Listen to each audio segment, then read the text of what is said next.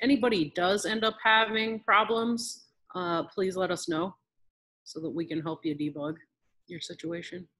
Go ahead and share my screen.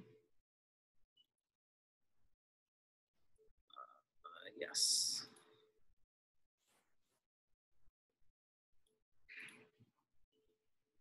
Okay, good. So uh, we're going to work on the Metasploit section right now.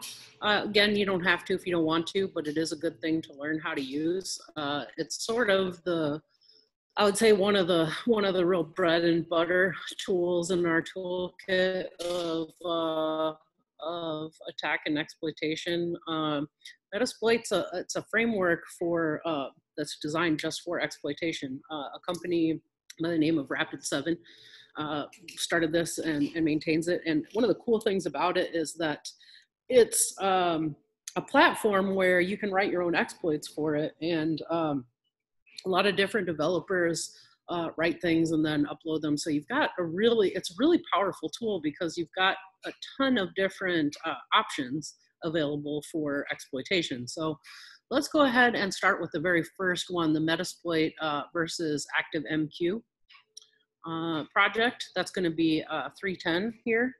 So if we go ahead and start that, we can, uh, let's check out our, our virtual machines. So uh, earlier I was saying, you know, it's important to be, that you be able to ping between your two machines.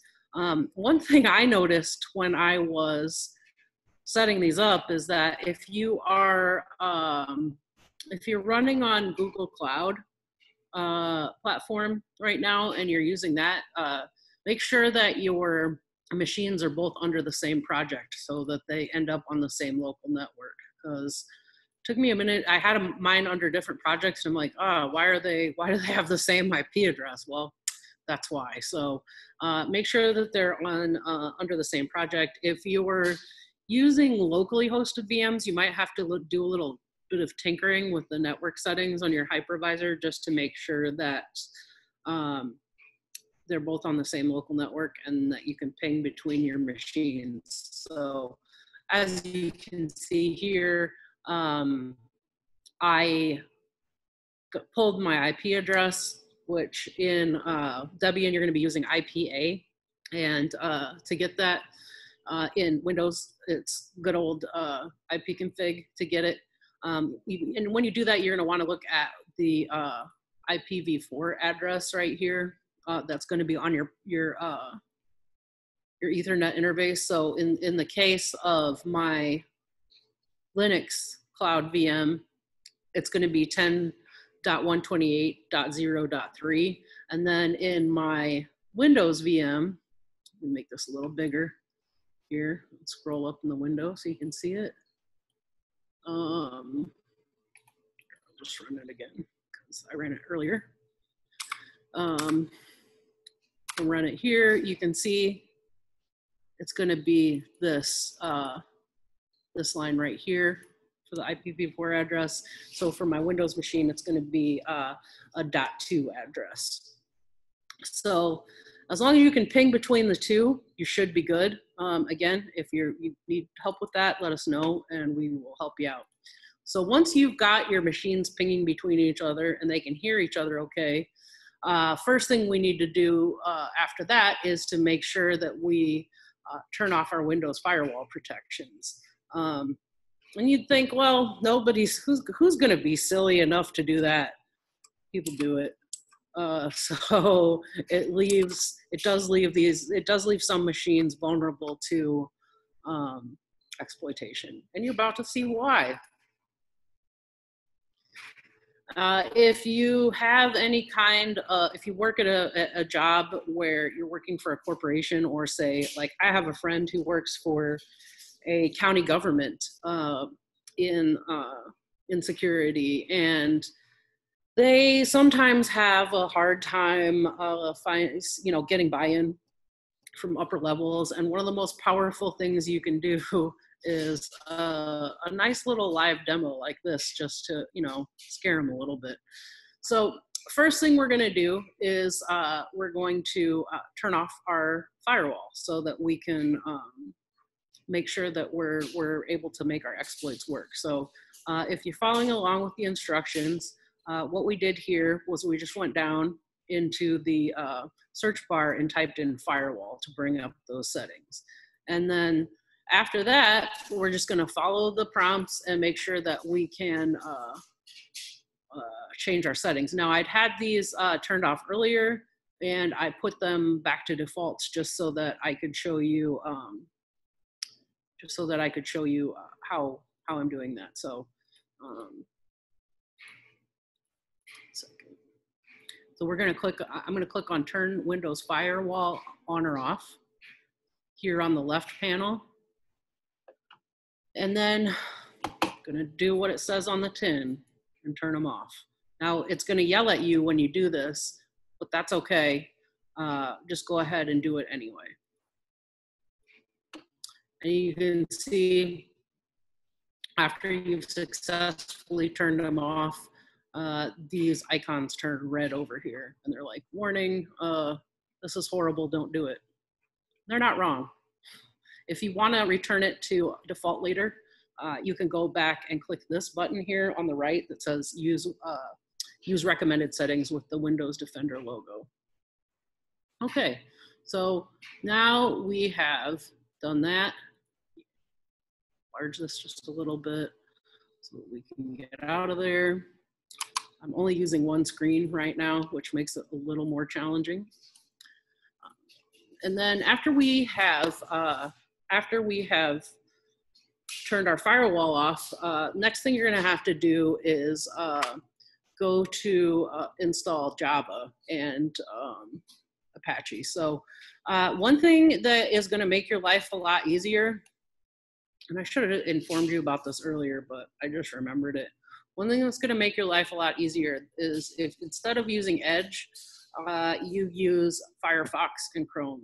Um, and Edge will, I noticed that uh, a lot of the time, uh, Edge will block you from downloading Chrome unless you're tricky about it. So uh, just go ahead and go get Firefox. If you don't already have it installed on your Windows machine, uh, go ahead and get that and um, make sure that you get that installed. Questions maybe? Uh, Yep. Firefox. Okay. Yeah, what My, my Windows VM on the cloud, it only had Explorer. Right, right. So you're gonna have to go ahead and install Firefox. Okay. Um, what section am I on? I'm on the uh, installing Java section and installing Apache section of uh, H310. Thanks, Caitlin, for putting that up. Getting the getting the getting the machines configured can be that can take a minute. So uh, as long as you can get Firefox installed, getting these other two installed shouldn't be a problem at all. Um, Edge has a lot of insane checks where anytime you have to you try to do anything, uh, it'll pop up uh, a bunch of pop-up windows and pretty much essentially try and stop you from using the internet. Uh, one of the funniest things to me about Edge, I don't know if this is still the case because I avoid it like the plague, but one of the funniest things to me about it was when it first came out, um, I had to use it for some reason or another. I can't remember why. Uh, it blocked everything, including links to Microsoft's own documentation on its own site, which really blew my mind. It was like, okay, you're telling me that uh, your own documentation hosted on your own corporate site is malicious and I shouldn't go there. Okay. I think you're forgetting the A part of the CIA triad, which is uh, confidentiality, integrity, and availability. So hopefully everybody is able to get uh, Fire, Firefox going, keep getting downloaders. Yep. Um, I imagine you're getting, I, I, imagine Edge is yelling at you. Is that the case? No, it's, it's not Edge. I wish it was, I wish it was Edge. It's Explorer 11 and I can't get to, I get to the site, but I can't download. It's blocking me. It says not on the trusted site. Do you remember where that is? Like to add it to the trusted site. So Oh, oh, oh, wait, are you on the cloud? yeah. Okay, so um you need to disable the um the IE what it enhanced security thing. Oh, wha- Please guide me. So Yeah. um go Yeah, click start Server and server settings or something, and it's uh, Yeah, uh, go to server manager server yeah. manager. There you go. So it. do I want to be on a Google page or I want to be within the server? within, Within the the server. server. Okay. Um, and then go down to your start Okay. in And the then, yeah. lower left hand corner. Type server manager. Okay, And that's then- already up. Okay, so go into local server. Okay. There. And- Uh it's right it's on the on the right hand side. It says IE enhanced something or other. Yeah. Security configuration. Uh, I'm not seeing it. You have to Where scroll Windows to the right. Is, feedback and, and diagnostics. There, IE enhanced security configuration. You have to turn that off. Right in the middle of the screen. Yeah. Okay, I see it. Yeah. So you click on the where it says on.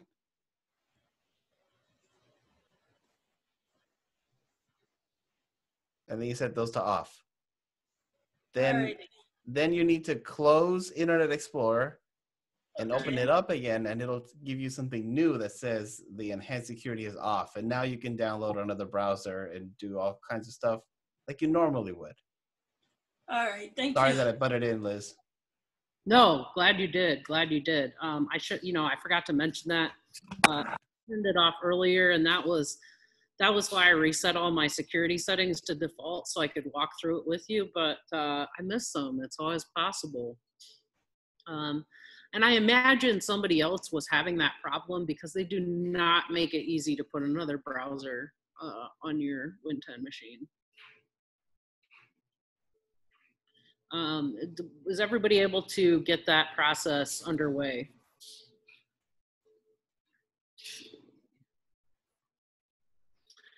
Ah, yeah. See, I knew it. Somebody had the same issue. I'll bet, and I'll bet you two weren't the only ones. So I'm glad. Uh, glad you mentioned. I'm glad you mentioned that. So um, once you once you get that going and you're able to get uh, Firefox downloaded, then you can really then you can really have some fun. Uh, Liz, I'm getting a question in private chat. that I think affects more than one person. They don't know how to get the RDP file and connect to the Windows Cloud server. So you might okay. want to show them that.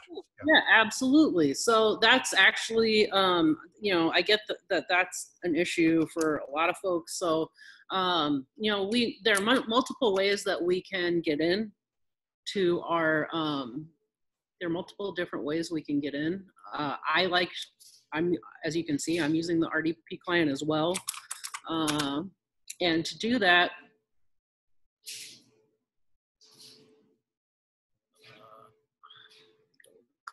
console here to do that it's they actually make this pretty nice and easy so um, if you go to your um, i don't know why this is taking forever but if you go to your console to your dashboard on uh, google cloud and you see your projects right here uh, i'm going to go ahead and go to my compute engine here uh, listed under resources that's got my project in it.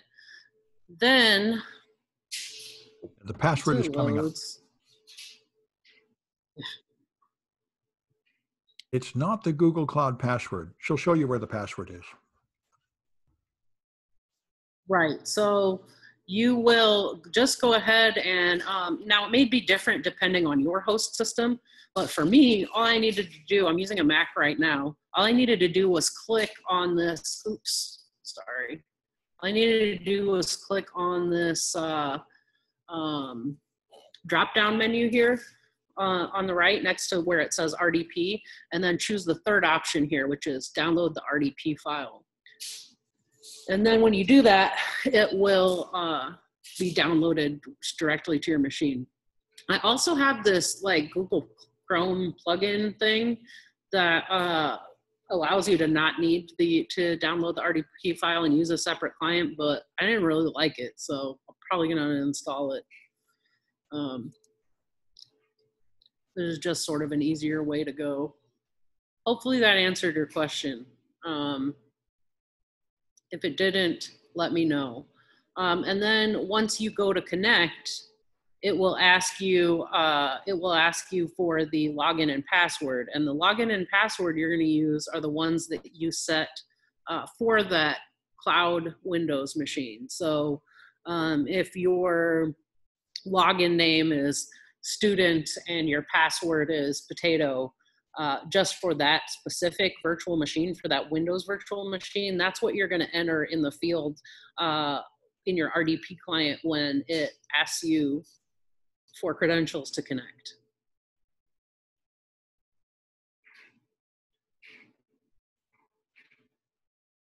Um, so hopefully, hopefully that's okay. I am gonna like hold my horses here for a second because if more than one person had that question, then I'm guessing that not everyone's up and connected and able to ping between both of their machines.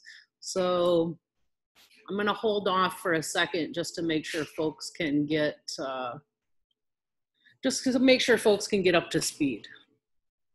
So one thing that's kind of interesting about Metasploit is uh, it's pretty popular. I mean, I've seen it in uh, more than one TV show or movie about hackers, and the one that come the the one that comes to mind immediately is Mr. Robot, like his his uh, zero day exploit against the FBI or whatever was actually a, it was actually a Metasploit module. So it's kind of funny and interesting.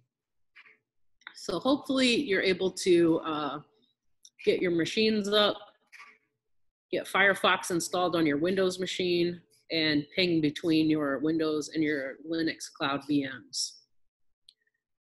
If you are ahead of the game and you're already to those points, all those things are working, go ahead and follow the next step in the instructions, which is to install Java and to install ActiveMQ.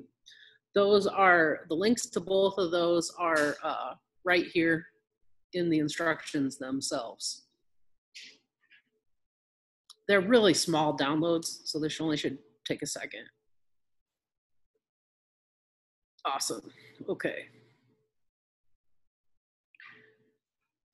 Once you, uh, then once you download those, those files, you'll just extract them and run the setup installer utility for each one. I didn't get a, a um, Apache Active Bin window to open. I don't know what that is. I'm sorry, could you say that again, please? Is it the folder that's supposed to open? Uh, well, for uh, Java, no. No, not the Java. It says open your browser and open your downloads folder, right click and extract all. Yeah. And I did, and I extracted, but all I got was a folder, a win, and you know, a Windows Explorer folder with the Apache Apache folder in it. Right. So once you do that and you open it, there should be uh, an ins. Let me look. Let me bring mine up. I believe. I believe there's a. Thing. Sure. Let me. uh Yeah, there's no installation for ActiveMQ. All you do is unzip the folder. Perfect. Okay, I, I, did that part, and then it says um, it opens, and then it says from the menu bar, bar, bar, click File, Open. So after I do the folder, then I go into the, the command prompt. That's all it's telling me. Yeah, that's right. You run it from all the right. command prompt. Thank you.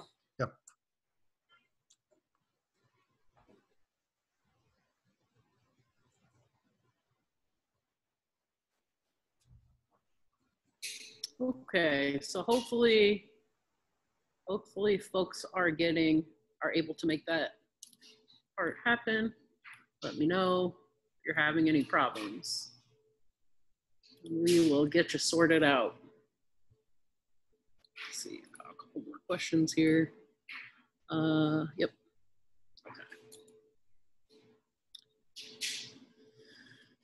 And as you can see, once you once you've got Firefox going, it's easy to it's easy to uh, download the dependencies you need.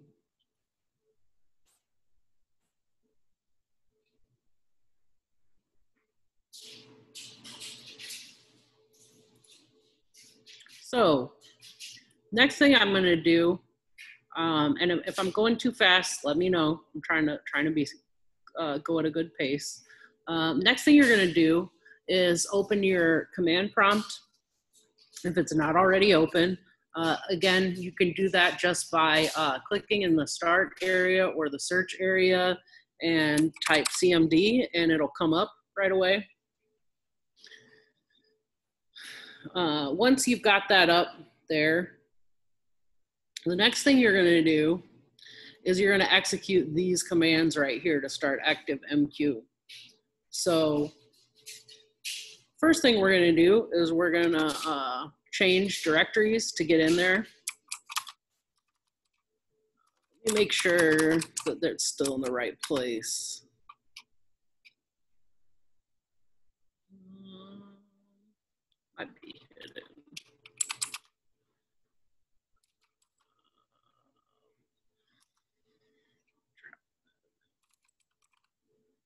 Wow, latency, good times.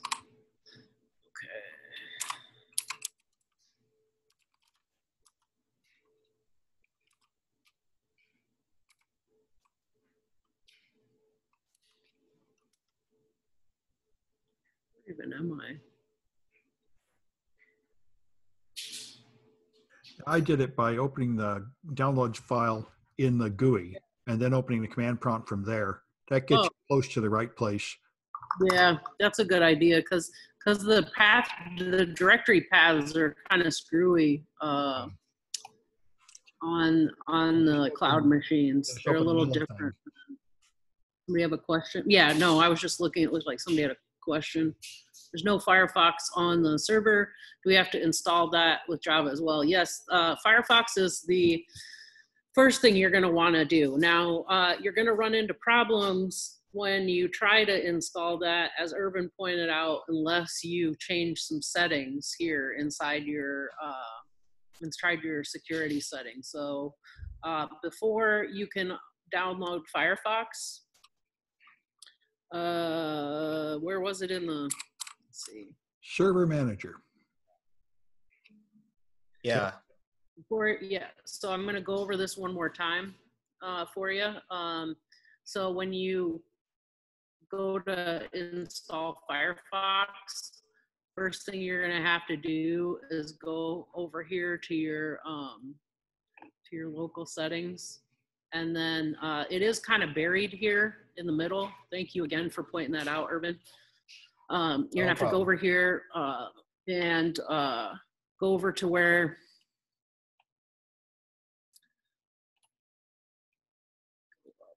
too far down. Yeah. So you're gonna go to the, the middle and then go to.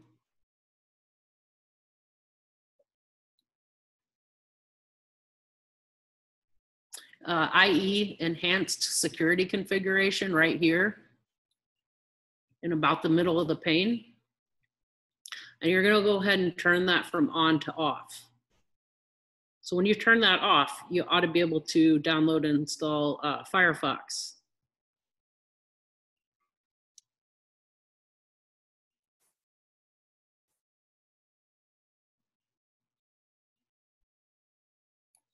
Yeah, Yeah. Okay. Let's see what happens with the folder. He says he can only open PowerShell. Let's see what happens. Mm. Go ahead and, Just open downloads and then file. oops. You, I'm sorry, what did you say, Sam? How did you get? Yeah. So can, what happens if you click file in this window? Open downloads first Yeah, and then click file up there. Is there a command prompt or is it just a PowerShell? There's a command prompt right there. I don't have command prompt on mine. It only Probably- shows me PowerShell. Yeah, probably because you have um 2019 or 2019. something. I think you can just use PowerShell and it'll be fine. I think so. I think that'll work. Yeah, just use PowerShell.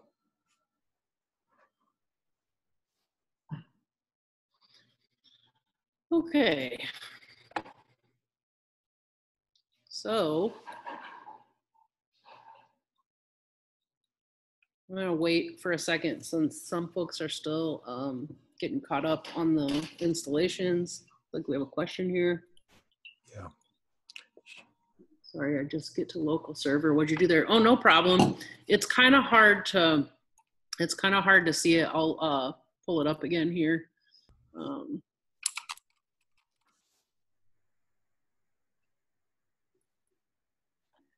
so we go to server manager. And then we go to local server here and then go over to the middle column.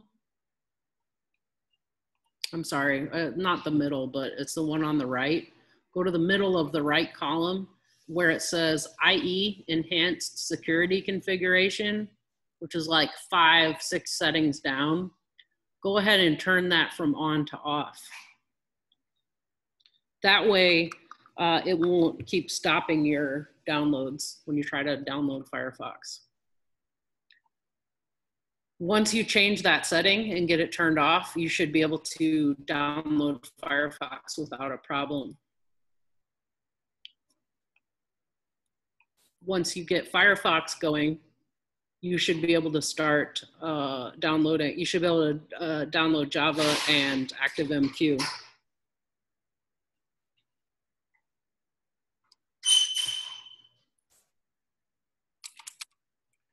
And I'm going to give you a second to do that just so that we're all, you're able to follow along.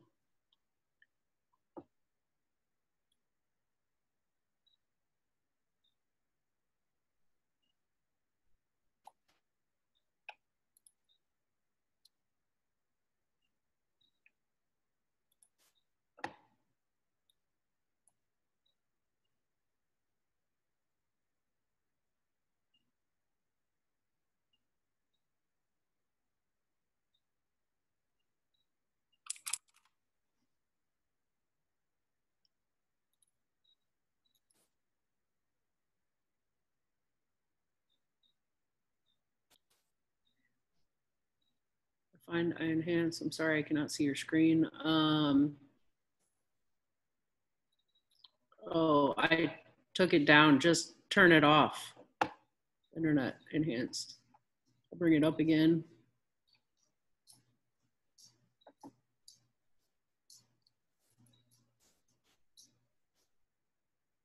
Are you still not able to see my screen?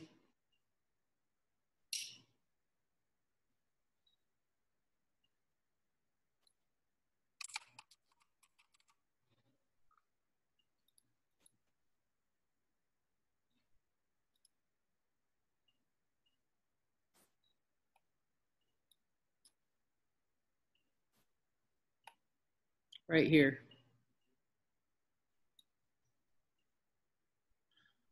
Uh, no, all you need to do is turn off this right here, IE enhanced security configuration. Just turn that to off. That should be all you need to do. It'll be on. And then uh, just switch both of these off. And click OK. And then you'll need to restart after you do that. After you switch both of those buttons to off, you'll need to restart the browser before the uh, settings take effect.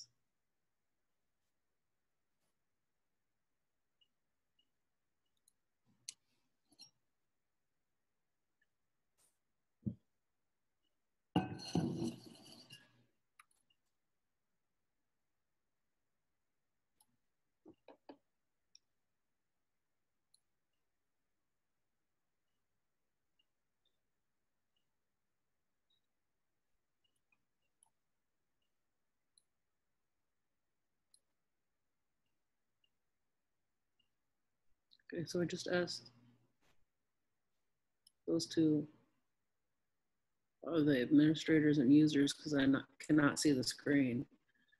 Um, is no one is are people still not able to see my screen? Oh, I got I, for some, something happened to the share. Thanks for letting me know. Can you see it now? Okay, Try so.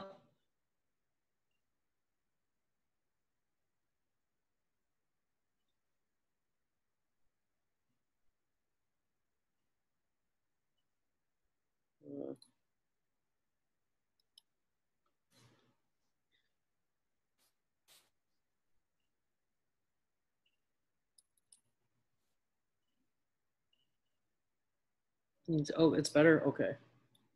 Good. Show you again, right where it is. So, yeah, right here. So you'll set both of those to off and then click OK.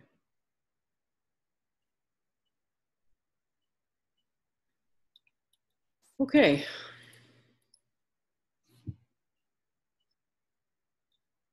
So next, next what you're going to want to do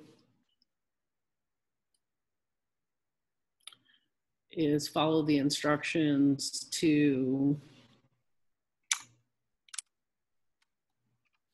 install uh, Java and ActiveMQ. Right here. So just go ahead and open up Firefox. Or I, I guess you gotta install Firefox.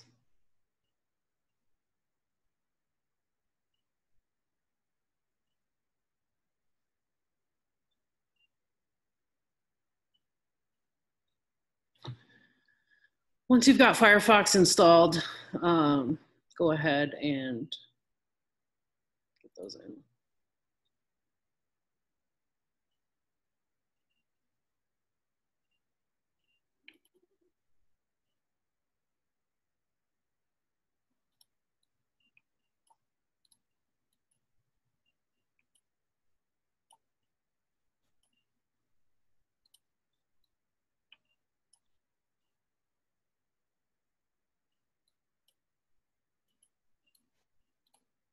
Uh, yes, yes, it is. Uh, somebody asked if the R host is for the Windows IP. Yes, it is.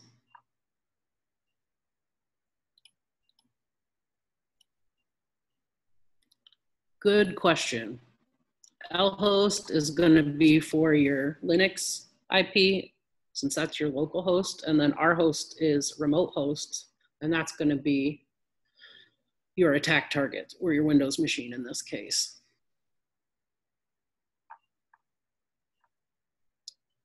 Okay.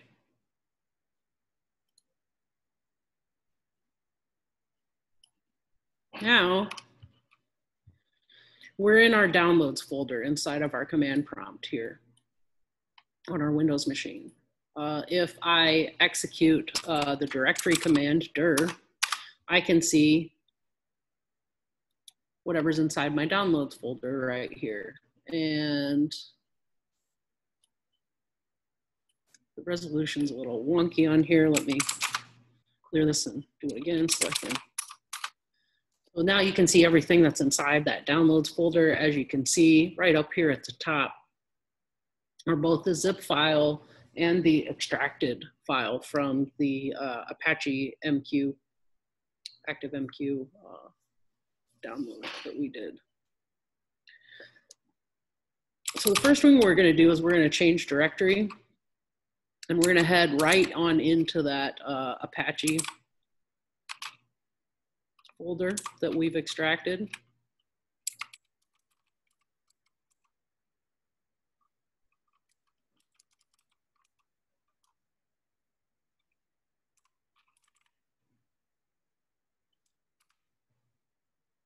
So now we're in here. Let's see what's in there.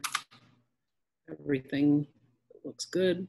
Uh, next, now that we're inside of there, uh, let's go ahead and start that up. So we're going to type this series of commands in.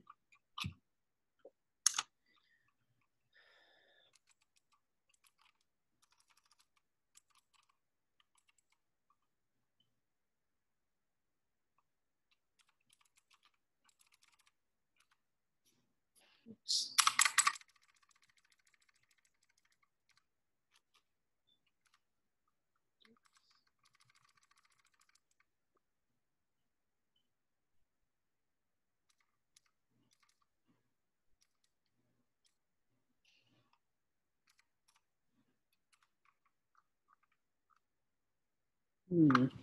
You got a CD again, there's another Apache directory Yeah, thank you.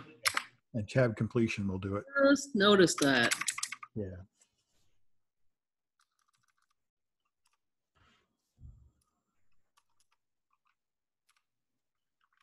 Okay, let's try that again.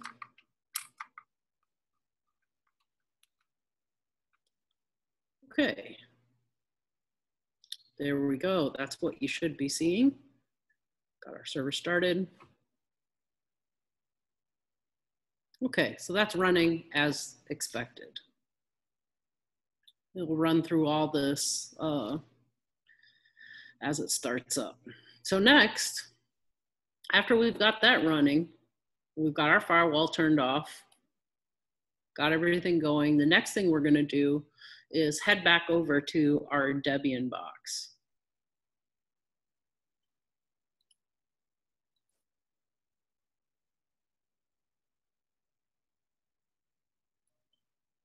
Need to set Java home for 2016 servers. Hmm. Okay. I didn't have to, just the default install did it, but Yeah, Anyway. I, I didn't have to either. Um, is it throwing you an error, student K?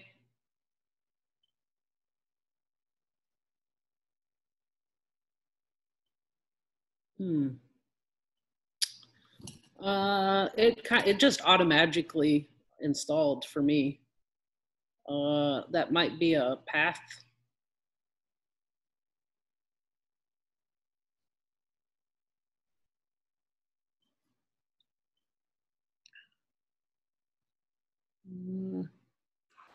well, student K, why don't you like post a screenshot in the chat or something?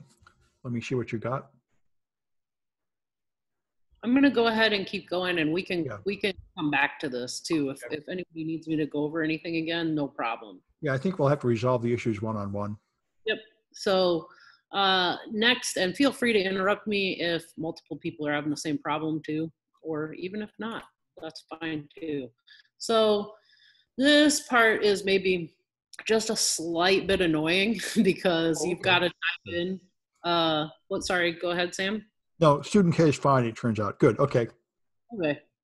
So this part is just slightly a bit annoying because we've got to type in like a ridiculously long URL. There are ways around this, but in the interest of brevity, I'm just going to go ahead and do the long, painful uh, type in process right here. Why can't you just copy and paste? Uh, because it doesn't work between my host and guest machine. I can It For my- does if you, Well, it doesn't for my Google Cloud. It does for my local hypervisor, but for some reason I'm unable to do it between uh, host and cloud guests. Oh, I can. I was just able If to. you know I a just trick. Copied it and then pasted it and use control V on the, Yeah, control V or command V. You're using a Mac? Yeah. The copy, Uh, you use control V or command V? I tried that and it, for some reason it doesn't work for me. Try the, the gear on the top right, the gear in the Oh. keyboard little icon. Oh, there it you- goes. There it goes, yeah, It, with, it actually worked with command this time, so that's Yeah. awesome Yeah. I, yeah, good. I've been struggling along with not working. So Good. Thank you. Yep. That saves some time. So, uh, you know, we talked a little bit earlier. Um, uh, Caitlin was talking about uh, wget and curl. Um, curl just stands for uh, client URL, so it does essentially the same thing as uh, wget. And then all we're doing is we're taking uh, the data that we get from that URL and sending it into a folder uh, that we've designated here uh, called uh, MSF inst. So if we hit enter, uh, it goes really fast. As you can see, uh, it goes directly into that folder there. Um, if we were to look at our, to look, we can see, uh, awesome. We've got a, we've got a folder here where it's installed. Next thing we need to do is enable the permissions on that folder so that we can go, so that we can um, install the contents there. We'll take that.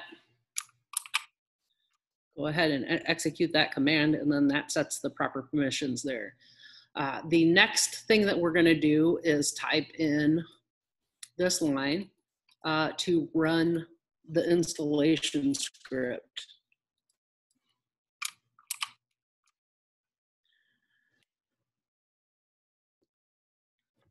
And it'll install.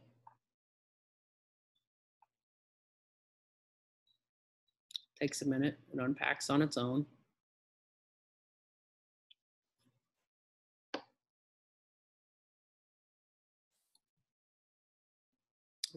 Mine is probably angry at me because I already have it installed, so I'm just gonna end that process right there. Oh, wait, there it went.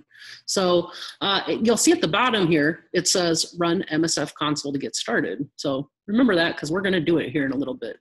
Uh, next thing we need to do is install Nmap.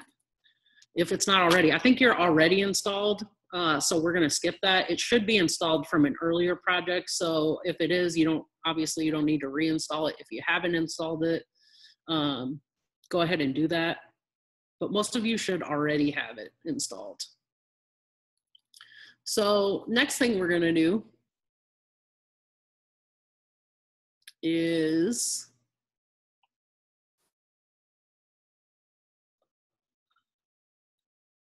grab this line right here. And as you can see, following uh, the nmap commands and flags here, uh, we've got uh, our port number designated here as the last flag. Following that, you've got an IP address. Now you don't want to use this IP address that's here in the example. Uh, instead, what you're going to want to use is the IP address for your Windows target machine. So go ahead and plug this line in here. We're gonna run that, and then we're gonna enter our Windows IP, okay? So for me, that's gonna be my Windows local network IP address. And then we're gonna go ahead and run that scan. Might take a minute to complete.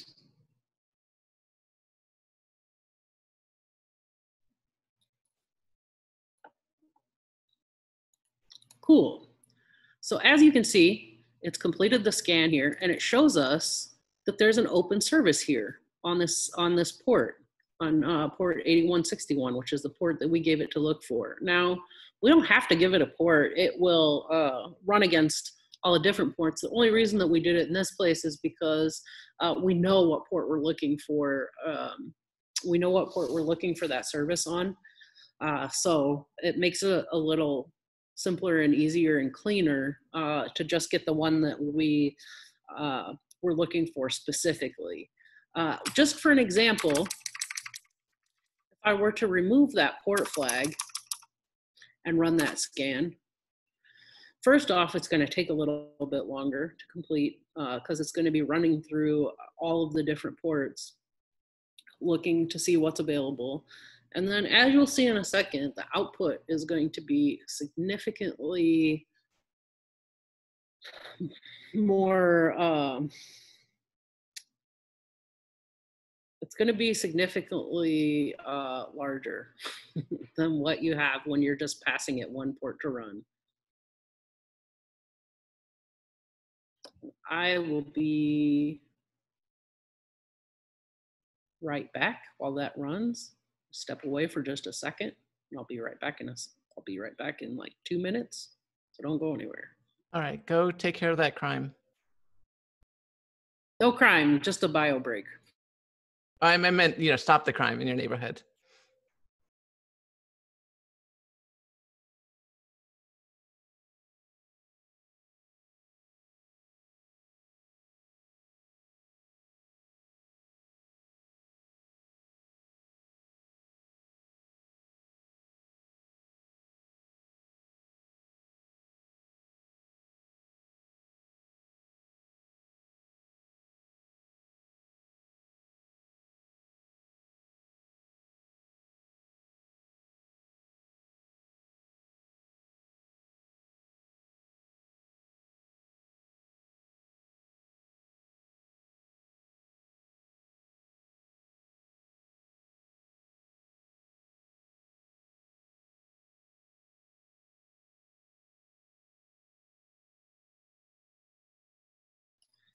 As you can see, the other scan is completed here and it gives us uh, every uh, service that's, that we can, every relevant service running on open ports. But we're only just interested in the one. So uh, next thing we're gonna do is, what we're gonna do is take Metasploit and then look for that specific service and see if, okay, there's gonna be some vulnerabilities, so what do you have available for me? So as you remember, if you recall when we set up Metasploit, um, it tells you after the install completes to run an MSF console to get started. So uh, now's as good a time as any. Let's go ahead and do that. So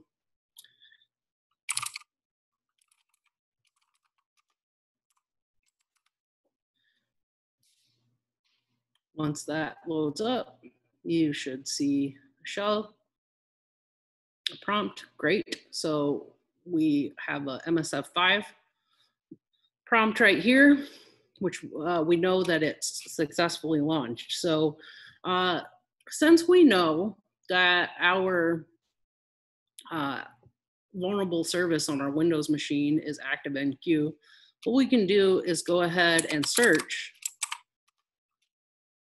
right here to see if there are any uh, vulnerabilities and exploits inside the Metasploit database. So let's go ahead and try that.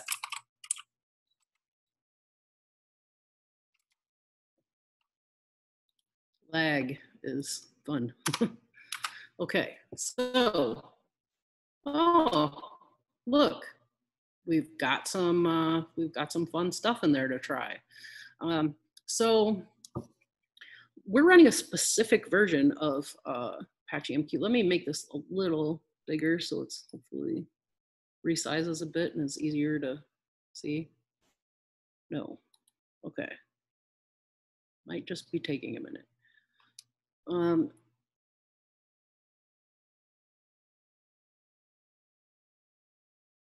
you can see down at the bottom here, this last one, one of these is specifically uh, claims that it's going to work on the version that we're using.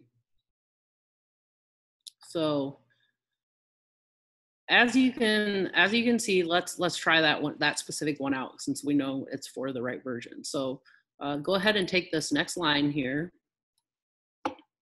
uh, and plug that in. Okay. So what happens there when you say when you choose um, when you choose that specific exploit, what you're doing is you're grabbing the uh, directory of it, which is uh, inside of Metasploit, which is their exploit database, because uh, they have different types of modules. Like you can see up here, they have auxiliary modules, um, and they also have exploit modules. It'll take you to um, the exploit modules, and then here we are getting uh, Windows specific exploits uh, then gets down even more granular. We're going to uh, web servers and then uh, you get the specific exploit title for the, the uh, vulnerability that we're attempting to attack. And all you have to do to load those, that specific exploit is uh, use the command use followed by that exploit title. So as you can see, after we entered that command, we were our shell uh, our shell changed just a little bit, just as as it does when you change directories inside of uh, a command prompt. It changed so that it shows us what exploit that we currently have loaded up in MSF console. So if you go ahead and uh, you you see that it's loaded up, you don't really know what it can do yet. So let's see let's see if there's some different configurations or different options. Let's see what we can do with it. So do that. The basically the equivalent of the man page is uh, type in show options. Oh cool. So this this gives us different uh, arguments uh, that we can pass to that exploit. So um, looks like here you can uh, it gives you some different options of how you can configure it. So we're not going to use all of these, but we are going to use uh, a few of them specifically, and especially um, we're gonna use, uh, we're, we gotta tell it where to go. So if you go down here to this next line, you can see that we're gonna set this our hosts option right here. Somebody asked a good question earlier. Uh, what is that our host variable? Well, that is what designates your attack target. So in our case, we're gonna be using the IP address for our Windows machine. So let's go ahead and do that. Let's do set our hosts.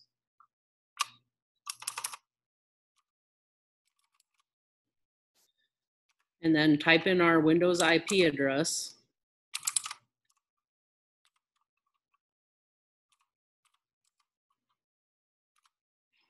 And you can see here that it's gone ahead and set that value for us. Let's go ahead and move on to the next one and set our local host, which is our Linux machine that we're typing on right now.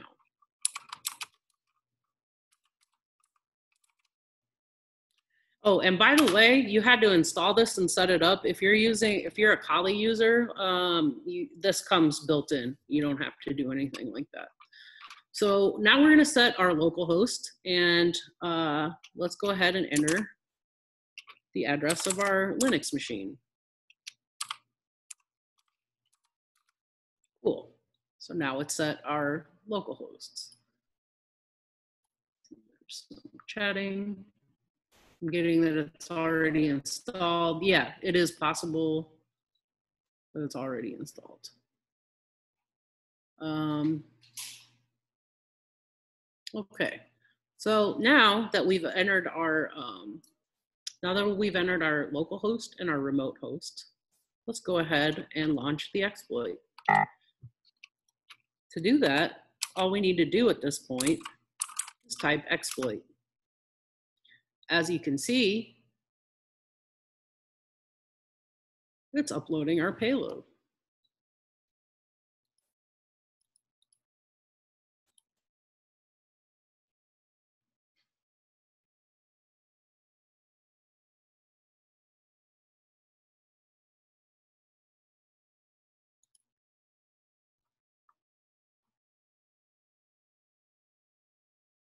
Okay, here it opened a shell for us. In a second, you will see that we'll get a prompt. We should be seeing it now, but lagging a little bit. There we go. So doesn't look like a uh, doesn't look like a Linux prompt, does it? You can see right here that we can see the directory of the Windows machine that we're currently using. So that's pretty cool, right? So now you can go here and see what's running. Let's try it.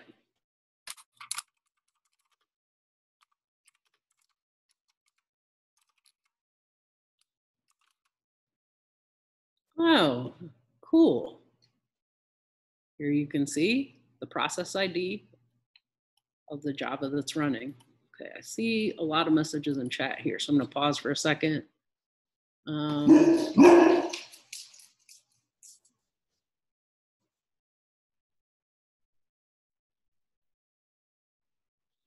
I get a different result for Nmap. Uh, make sure that you're using the right IP address. You don't want to use the IP address that's in the instructions. Yeah, correct. To find the IP address of your Windows machine, just, just type ipconfig inside of the command prompt.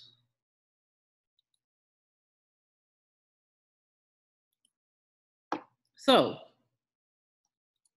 now I have shown you how to get that first flag. So that one's a giveaway for you. Pretty fast and easy and simple. In fact, the first time I saw how easy and simple it was, I was a little bit sickened by it. Now you can see why teenagers are able to hack big and impressive things. Um, okay, uh, I would get a no tasker running which match the specified criteria. Criteria interesting. So uh, make sure that you're um, entering in this sequence the right way. Yeah, try that too. That might bring up everything for you. Yeah.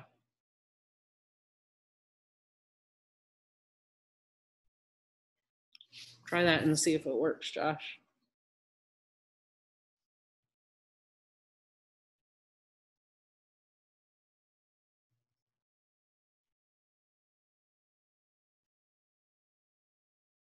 Hmm. That is interesting.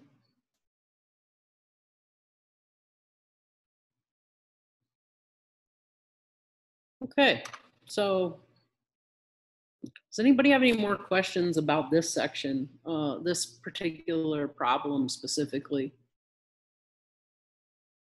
Great. Wonderful.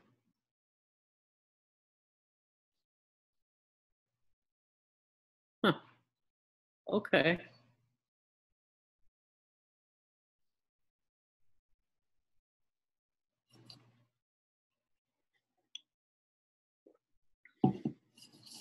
Oh, yep. Sam's making a good point there. Okay, so um, it seems like everybody's doing pretty good on that. Give anyone who still needs a second. Yeah, it is a common problem with Java, and there are so many problems with Java, but uh, we still use it, and a lot of things still rely on it. So hopefully everyone was able to at least get this one. If anybody's still struggling with it, um, let us know. If not, I'm going to go ahead and move on to the next section.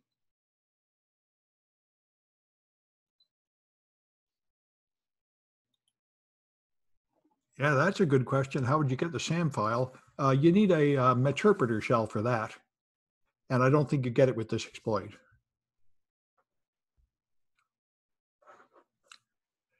If you, if you get an interpreter shell, you then do get system and uh, hash dump. Yeah. But uh, with a command prompt like this, you don't get that. So you're going to have to load more malware on the system. hmm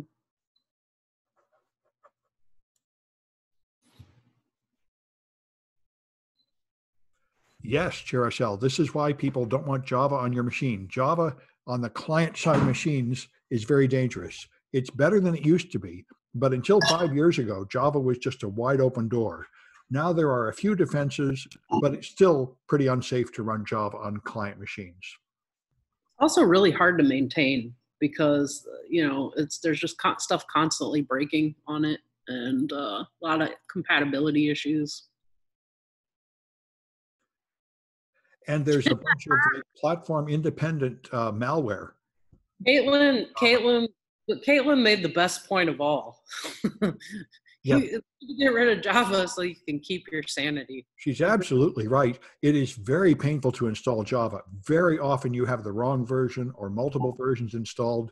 Many of my students suffer greatly with Java. Handler failed to bind. It might be that you already have something on that port. Oh, no, it probably means you got the wrong IP address. Oh, yeah, you're using the public IP address. You have to set L hosts to your um, to your Linux IP address. Your Yeah. 10, your address starting with 10, Mm, not the one starting with 35. Yeah, because uh, So check your set L hosts value, CJH. Yeah. Uh, let's see what this one is, H311.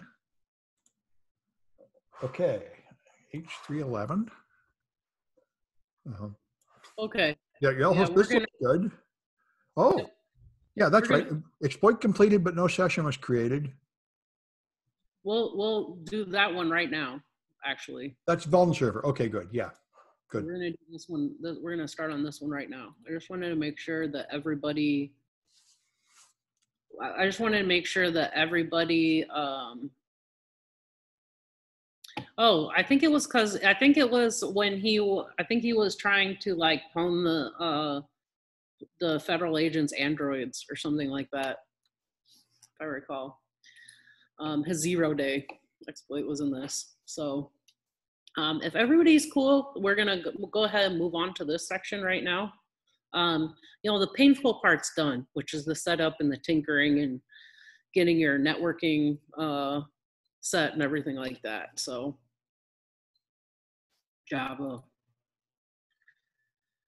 That was actually the most, one of the less painful Java installs I've had to do. Um, okay. So, let's go ahead and do this next one. So first step we already did. You don't have to do it again because we already did it in the last section where we turned off the firewall. Um, but again, if you're if you're doing these, make sure that you did that because you're going to have a bad time. Now, we do need to turn off uh, an additional. Um, we do need to turn off an additional setting, uh, which is called data execution protection in Windows. So um, if you go into your Windows VM here, and you bring that up, you're going to open up your uh, control panel. Oops. Open up your control panel here. Get it down.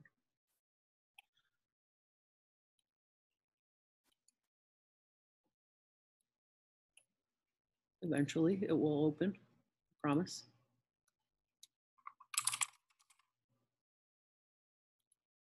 Open that up. Go look at our settings here. And we're going to go into system and security. And what was it again? Uh, yeah, system, that's right. System and then uh, advanced system settings. One thing that drives me insane about Windows is having to do all this stuff through the GUI. I'm sure there are ways to do this through the command line, but okay, so we go here and then um, we click on the advanced tab up here at the top. Once we get into the advanced tab, we go down to the performance field here and click settings. Uh, now that we have uh, the settings tab open, um, then we there's a performance options box here somewhere. Hmm. Data execution, it's the third tab. So data execution prevention. Um, we've got uh, two options here. It used to be, you used to be able to just turn it off, uh, but they have changed that to where now you can just turn it on for only essential uh, Windows programs and services. So go ahead and do that. And then once you do, you're gonna click OK. You're gonna click OK again and get out of those dialog boxes here because um, it will not let you, uh, now they've changed it so you cannot close one thing without closing all the dialog boxes. And then uh, just get all the way out of there. Too many windows here. Way too many windows. Once you get out of it, um, go ahead and restart your Windows server for all that to take effect.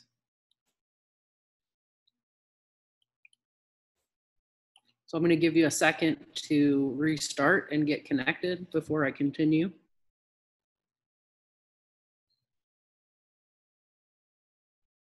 Oh, it's hard to see again how I got to uh, depth.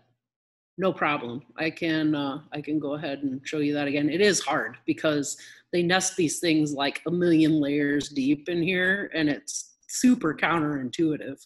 So uh, let's go in here and go back to our control panel. Open that up. this here. And we're gonna go into, first, when we open our control panel up, we're gonna go into system and security. And then we're gonna go into uh, system. Once we get inside of system, then we're gonna click on advanced system settings over here on the left tab. And then the next thing we're gonna do is click on advanced tab inside of the systems properties. And once we do that, we can see there are three fields here. We're gonna go for the top one, this performance field, and click on settings inside of that performance field. Once we get into there, as if we weren't already nested deep enough to change this one settings, we're gonna click on the third tab, which is data execution protection, which is the setting we actually finally wanna change. So once we get in there, uh, you're gonna, it's typically you're going to have the second radio button selected, but you want the first one selected, uh, which is turn on uh, data execution protection for essential windows and programs only instead of for everything. Um, you can uh, you can uh, change, and if if you do want to, you can selectively uh, create an allow list uh, here. But we're not gonna we're not gonna bother to do that for the purposes of this exercise. Once you have that that radio button selected, just click OK, then click OK again until you get out of there. Um, and then finally, once you've got those change those settings changed, okay, um, you're gonna want to restart your cloud. Uh, you're gonna want to restart your uh, Windows machine. Awesome. Okay. We'll give that a second to reboot.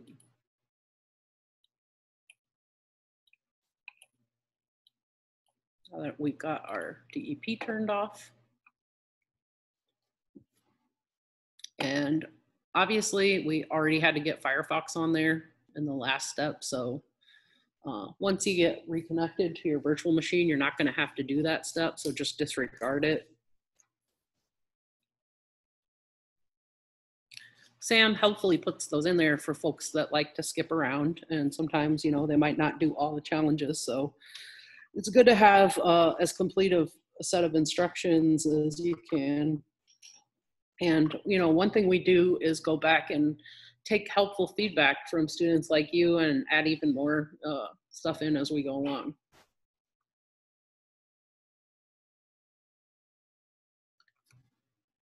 Give everybody a second to get reconnected.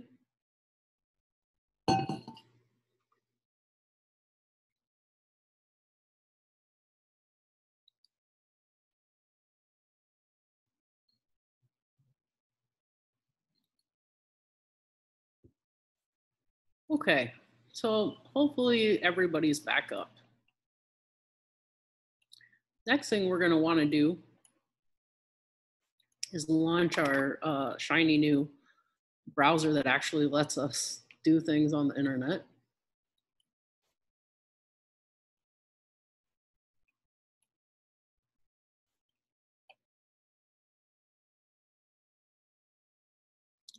I can go back while we're doing that. I can go back and kill this. Back and kill this server here. So we don't need that anymore. Once you've got Firefox pulled up, go ahead and go to this address. Uh, it'll ask you what you want to do.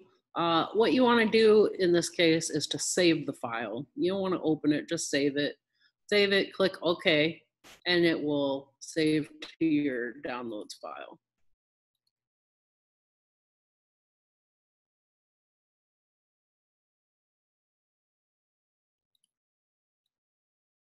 Uh, just try instead of uh, the Java, just do it, do the uh, task list slash M uh, star to get all of them. Yeah, exactly.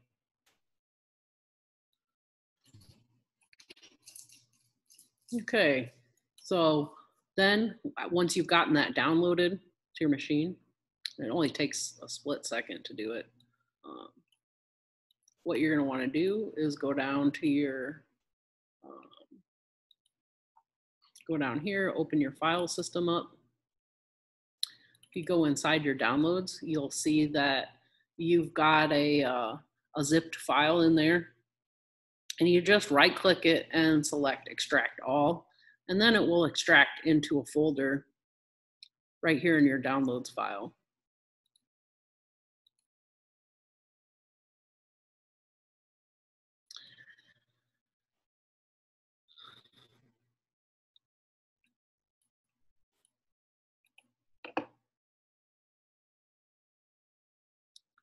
Okay. So once you have that, uh, once you have that Vuln server um, file extracted, next thing you want to do is open that up. Uh, inside of here, you will see that there is uh, a Vuln server executable.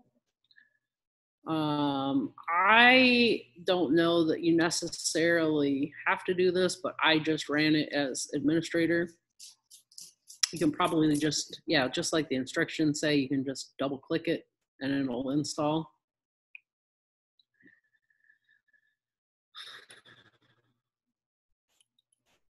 Or I mean, it'll run rather.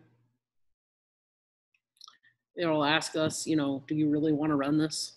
Vulnerable server? Why, yes, I do. Please expose me to attackers right now. Turn my firewall off. And here we are. We've got our vulnerable server open and ready. I like the warning here.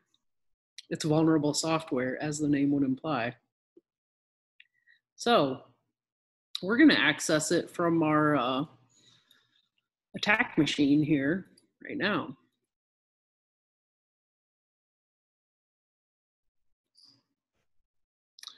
So let's go ahead and jump back over to our uh, Linux machine, just as we did in the last uh, exercise. Let's go ahead and pull that up. Let's get out of here because we don't really need that same exploit again. Here we are back in our regular shell and I'll just clear this out. You might want to make the font bigger. Yeah, I can probably do that.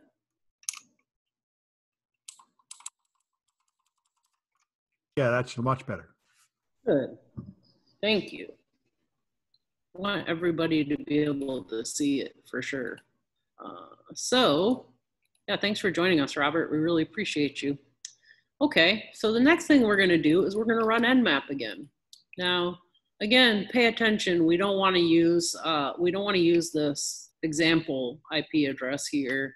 Just as in the last exercise, we're gonna scan, uh, we're gonna use our, um, we are gonna use the uh, IP address for our Windows machine.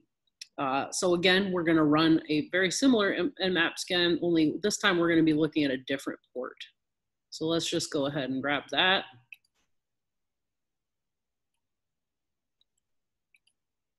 Alternatively, you could just probably use your up arrow and find it, which I think I'm gonna do because I'm lazy. Let's just change that port number right there. Uh, we're running the same scan with the same flag, so it should work just fine.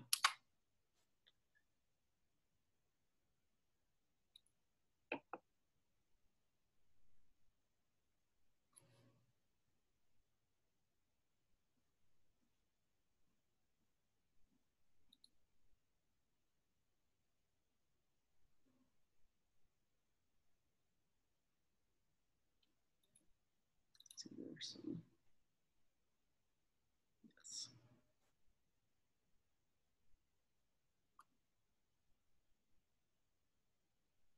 That's what they say. A lazy engineer is a good engineer.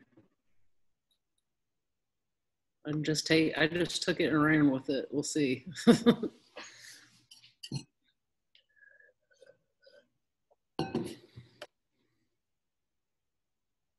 okay. So as you can see, our Nmap scan worked well, and it shows us that we've got a vulnerable server running on port 9999, as expected. Great. Hopefully you got the same results. If not, let us know. As with the last exercise, we're gonna open up our MSF console and then we're gonna search for an exploit that meets our needs. So let's go ahead and do that.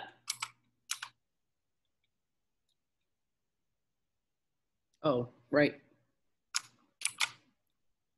I'm used to having root, but it opened up anyway. Cool. so then we're gonna look as he, uh, we're gonna look here and type in loan server.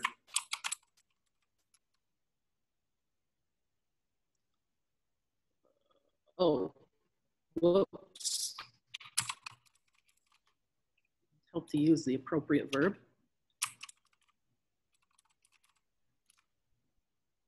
Oh, no results. How sad. So, what can we do here? There's nothing pre-baked and ready for us to go. Uh, so we're out of luck, right? No, we are not out of luck. We can make our own server. So let's go ahead and exit our MSF console for now and go back to our regular shell. So now that we're in our shell, let's go ahead and make a new file. So what we're gonna do is, as you can see, we're gonna enter this line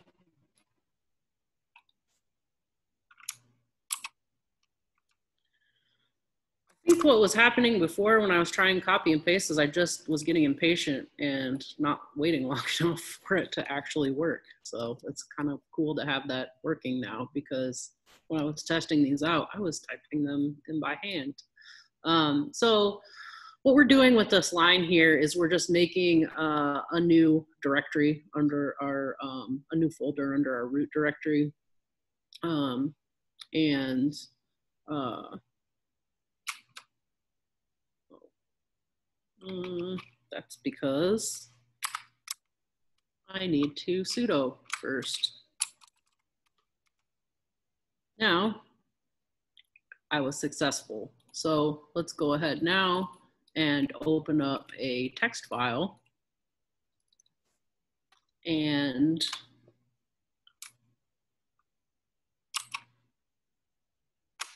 here we are in Nano. Now, there's another way to do this, which if you should you ever find yourself in a situation where uh, it's you've got a lot of stuff that needs to move um, onto your host machine, there's a really cool utility uh, called termbin, and it's a uh, you can actually use it's like paste bin for your command line, um, and it's really awesome because you can um, essentially uh, upload and download uh, large amounts of uh, text easily. So it's hand, it's really handy for stuff like this. I love Termin. It's really cool. So now we've um, we've started our exploit here with this this code that Sam has um, so helpfully provided us uh, by grabbing this all this code right here, and you'll see this looks like a typo here at the end where it's got n twice, uh, you actually want both of those. So make sure that you get all of that. Don't just like blindly assume that that's a typo when you go and grab these. So you're gonna go all the way from here where it says uh, Metasploit template, template uh, down to where the second end is, and that's important. So make sure that you grab all this and put it inside your exploit file, okay? So uh, once you've got that in there, you can go ahead and close the file. And then we're going to jump back into our uh, late show But you do need Shudo, or it won't find it. I do. Thank you. Yeah.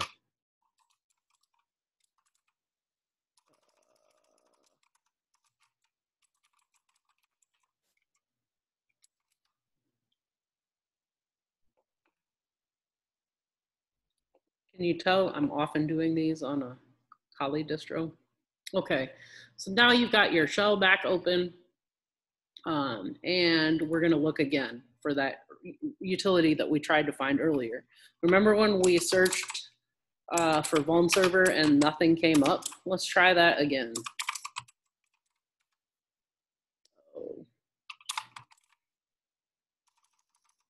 Oh. Uh, what did I do wrong here? You got to do reload all. That's right. Thank you. Uh, Underscore, reload underscore all. There you go. here we go. So now it's pulling the modules from your machine, including the additional one that you installed earlier. One of the things that really makes me smile about Metasploit is the different ASCII art that loads each time. This so far right now, I actually haven't seen this one yet. And I'm actually just gonna take a quick screenshot because this is my favorite one. Um, so yes, honk the planet. Now we're inside of Metasploit. We have found our found our stuff. Um, reloaded our modules. Let's try it again.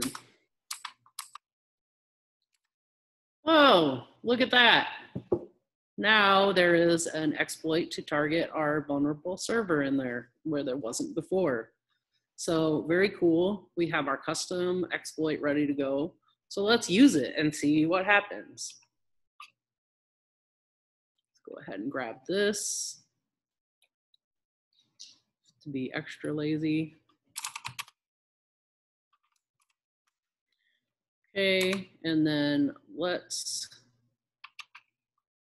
see.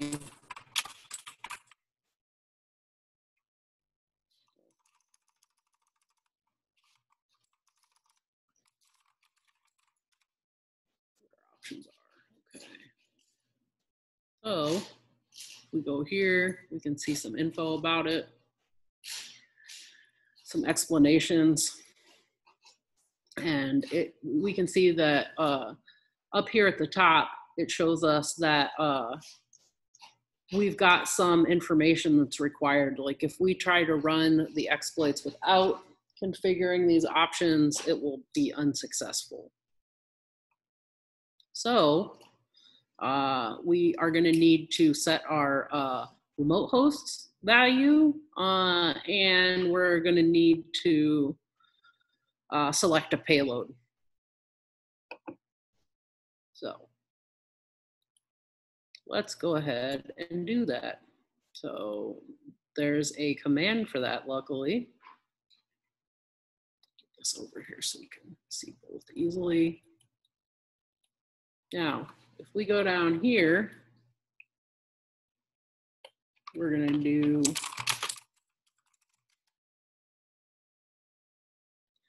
and then as you can see, there's a ton of different ton of different ones that we could use for this.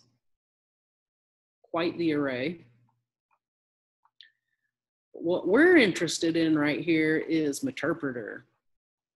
So let's go ahead and use that one. So let's set our payload with the set command. And then we'll type in the path to it.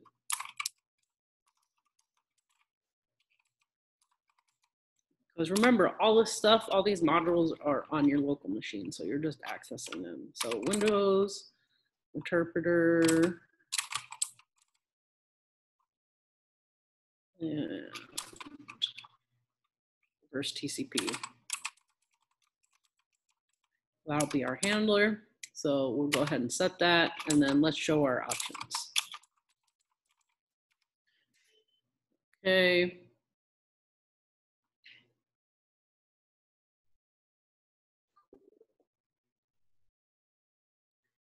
Success so far, so let's set our local host. Just like we did in the last one, so we're just gonna set, oops, we're gonna set our R hosts. That's gonna be, again, that's gonna be our uh, Windows machine.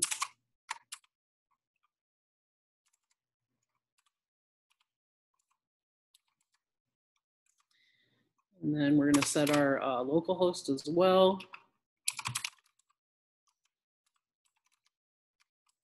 And that's gonna, again, that will be your Linux machine.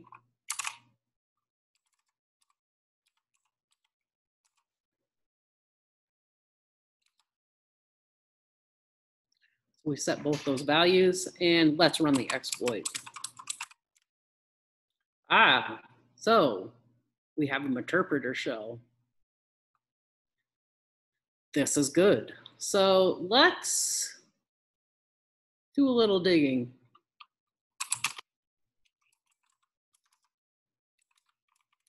It's gonna give us uh, everything that starts with Vuln, which obviously we want because of Vuln server.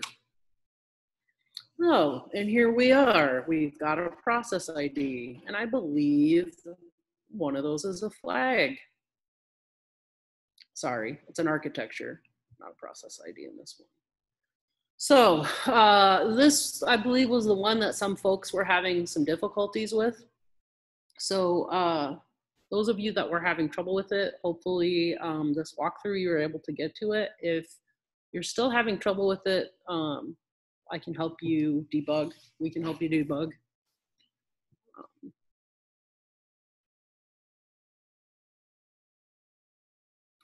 see, our chat. For the, um, for the three twelve, um, what is it, three twelve, no, three thirty, which one is this one? Sorry. This Uh, one is 311. No, three twelve then. For, for three twelve, for this, and task three, write in the Metasploit module. It Mhm. sends, it, it tells you to create the file and you run everything. And then, um, you're building a module and you put it in the pieces. And then it tell you if you have any errors, go to the framework, that log to look for details. Mhm. Um, there are so many errors, I don't know where to start. Okay, well, this one, um, I'm actually probably gonna skip this one for now and come back to it. And, Okay. Because this one's, uh, this one's a bit of a handful, so I think I'm gonna skip this one and come back to it. And, uh, we'll do, uh, 320 next, if that's okay. Oh, yeah, no worries. There's a lot going on here. I, I, I was ready to quit it Oh. anyway. I just was curious. Yeah, I'm not surprised that you're encountering a lot of errors on that one. That I'm just uh, looking, I guess, for like when whenever you they run into problems with like a lot of errors where it look like syntax, like usually where's the best place to start? Like at the top, at the bottom, or just dive in? Just dive in. You just gotta work through those uh, error messages. It's almost like a scavenger hunt. I feel like where uh, you know you're you're or like maybe that's a you know sometimes you gotta hunt for clues and then uh, I've got a technique I've used for years. Just delete half of it, throw away a whole bunch of it until the error goes away. Then start putting it back a few lines at a time. that's a good one too. That's when a great. really lo- when you're really lost, that helps. that's a that's a very good one too. Um you know don't be don't be too attached. Sometimes you just got to blow it away and and add it back in incrementally so you can squash your bugs.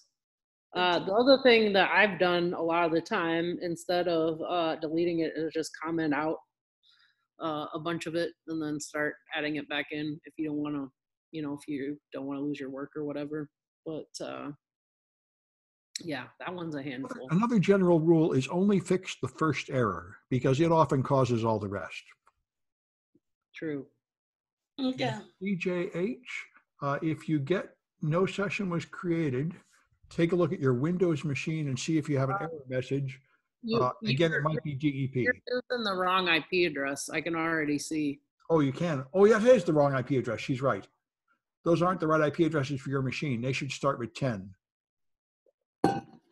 Yeah, oh, and the so- same thing in this private message, I'm seeing uh, from Cherishell, you, you're using 192.168 addresses. You need to check your Google Cloud Console and use 10 addresses for both I think machines. she, she copy and paste it because the one nine, one nine two, one six eight was the, was what's in the example.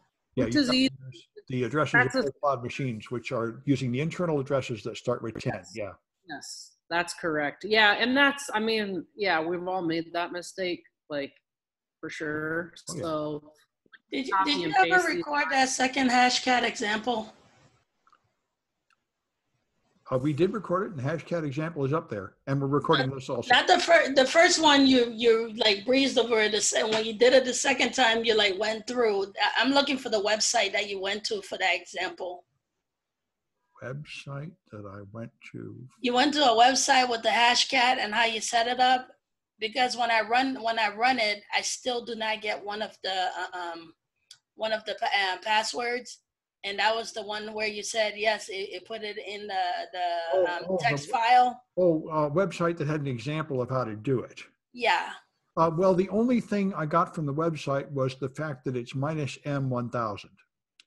Oh, okay. Other than that, I'm, you I'm, yeah, I'm using the minus M1000, but it doesn't create, it doesn't create my output file. It just, it, it tells me it's exhausted, like it's did with yours, and it tells me that there's one out of one, but then there's n- nothing for me to open. uh, well, if you use the dash O found one dot text, it should put them in that found file. Yeah, it doesn't create that file for me. All right, I'll go back to it again. Yeah, I'd go back and do the Linux one. That'd be, all right, Judy. Um, uh, all right, and uh, lhost is Linux. uh, see, any ideas? Okay, let's look and see at what the problem was. Um, Uh, Miriam, it could be, uh, it could be the IP addresses. Uh, oh no, oh, you're the one that had the crash. Yeah, if it crashes like that, that usually means DEP is on. Um, did you, you did restart after changing it, right? Because if you change it but don't restart, it doesn't take effect. Um, hey, Mariam, uh, you were able to do the previous one, okay, right? Uh, with the, um, yeah, okay, so it's not a networking problem, okay, um, see what else could be the issue here. Um, You, is this a Google Cloud machine? You haven't got any antivirus or anything, right?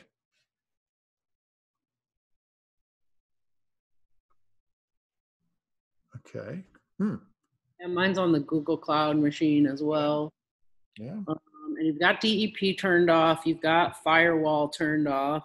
Hmm. Yeah, I don't, I don't know. Oh, one idea is uh, there's some setting in here that I found earlier. I, I think I have, I do have an idea. There's some setting and I, I found in here earlier about like preventing you from running non-Windows programs or something like that. Um, Do you have server 2016 or 2019? Yeah, 2016. That's what I used. Hmm. um,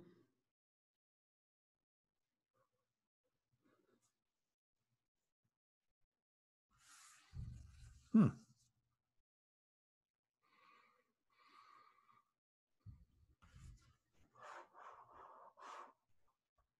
This one, turn this one off. Uh, the uh, Windows Smart Screen. Phone server has stopped working. um, Mariam. Uh, this try try uh, try turning this off here. If you go into um, let's see, let me back out and see how I got there again. like this is one of the things that drives me most insane about Windows. Oh, and I close my connection. Great. Hang on. Reconnect.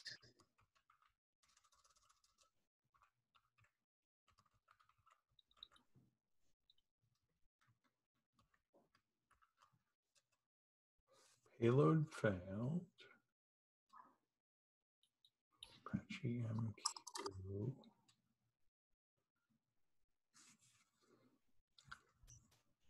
Okay. So I think if you turn that off, that might be your problem because it's not going to run that vulnerable. I think it's stopping you from running that no. uh, program effectively.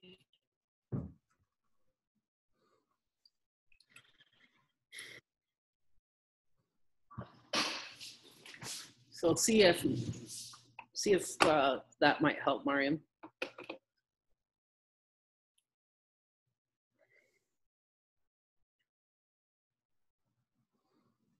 Okay. Let me back out of that.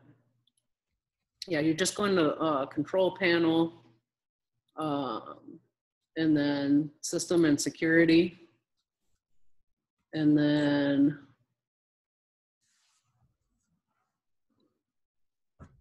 security and maintenance, and then it's right on the it should be right on the front here under security where turn on turn off Windows Smart Screen and then you just click on the Windows Defender icon logo here on the side, Yep, that's it.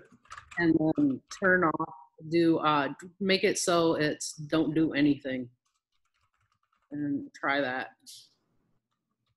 And then after you've, uh, changed that, try running the, um, try running that vulnerable server program again and see if it works. already don't do anything, so I'm not sure what's the problem. Um, oh, oh, did you remember to uh, restart your Windows machine after you turned off uh, DEP? Mm, no. Okay, that I think that's it. So just make sure try restarting your machine now that it's turned off, and then try it again because I suspect that's your problem. Okay, sure. Thank you. Sure, no problem. I'm gonna give you a second to try that before we do the next one.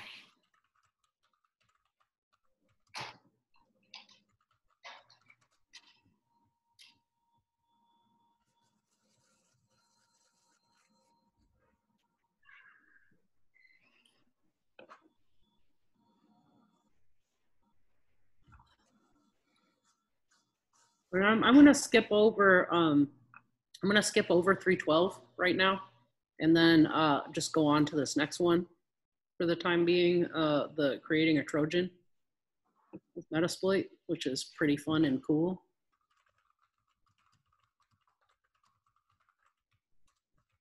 But I want to give, uh, anybody a chance who is still running into issues to try and run that last exploit first everything should still be there after you restart. Uh, so you should be able to just go back in and follow the, um, should be able to just go back in and follow the last steps here. Uh, once you get it booted up, where you start up, um, where you start up the uh, vulnerable server.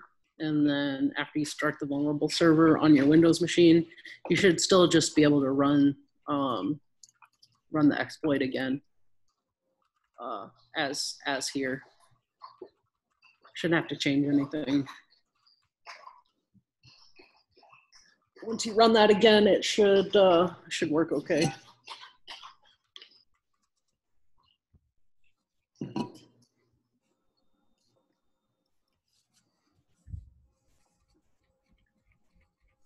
So I'm gonna go ahead and uh, move on to this last one here. And then, uh, then we'll still, you know, we'll still have time to do any kind of debugging or answer questions or anything like that. But once we're getting into the last hour, I'd like to run through this one with you. Uh, it doesn't, doesn't take a real long time to get through it and it's pretty fun. So hopefully everyone is familiar with the concept of a Trojan. Uh, so I'm not gonna explain that, but if you want me to, uh, I will. Otherwise, we're just gonna press ahead and forge on. I'm gonna go back to my, I lost my RDP connection again. Let's go ahead and start that up because we're gonna need it.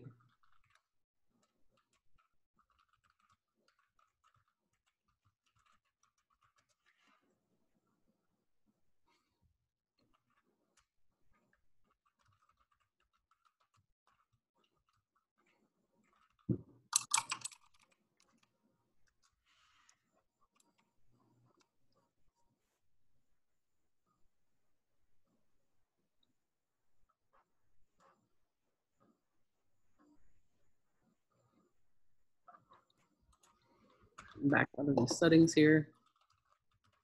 Oh, great. Fantastic. That already, that uh, DEP will get you. It was the DEP. She had to restart her machine. Okay.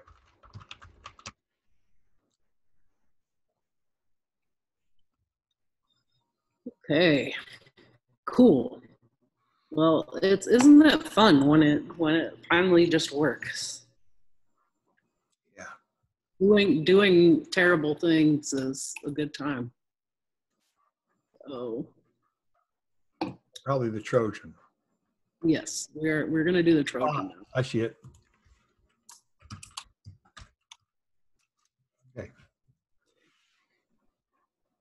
Now, what we're gonna do is go back over. We're gonna be using the same stuff for the most part.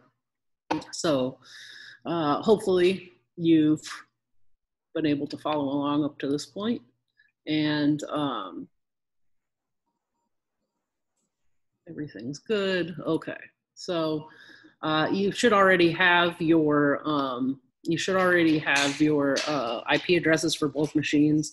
And I'm not going to run through the ping test because if you've gotten this far, then your connectivity is okay.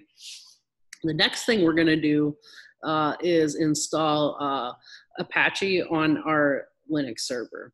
So you're going to want to take these and run them. So uh, we should actually probably change these as somebody just mentioned earlier. Uh, they tried to put them all on one line and they won't actually return like that. The way you're going to have to do it is do um, sudo apt update and then hit enter. Uh, next line, you're going to do uh, sudo apt install apache 2 dash y uh, and then enter.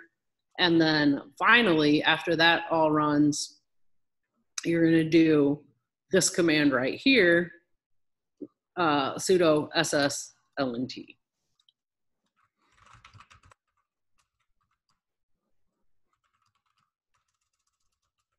The one thing I will say is don't upgrade. Do not use upgrade here. I found this out the hard way. Uh, if you, because it's it's habit for me to do update and upgrade, but it will break things. So don't do upgrade, just update. I had to start over. Once you've got them installed, you can do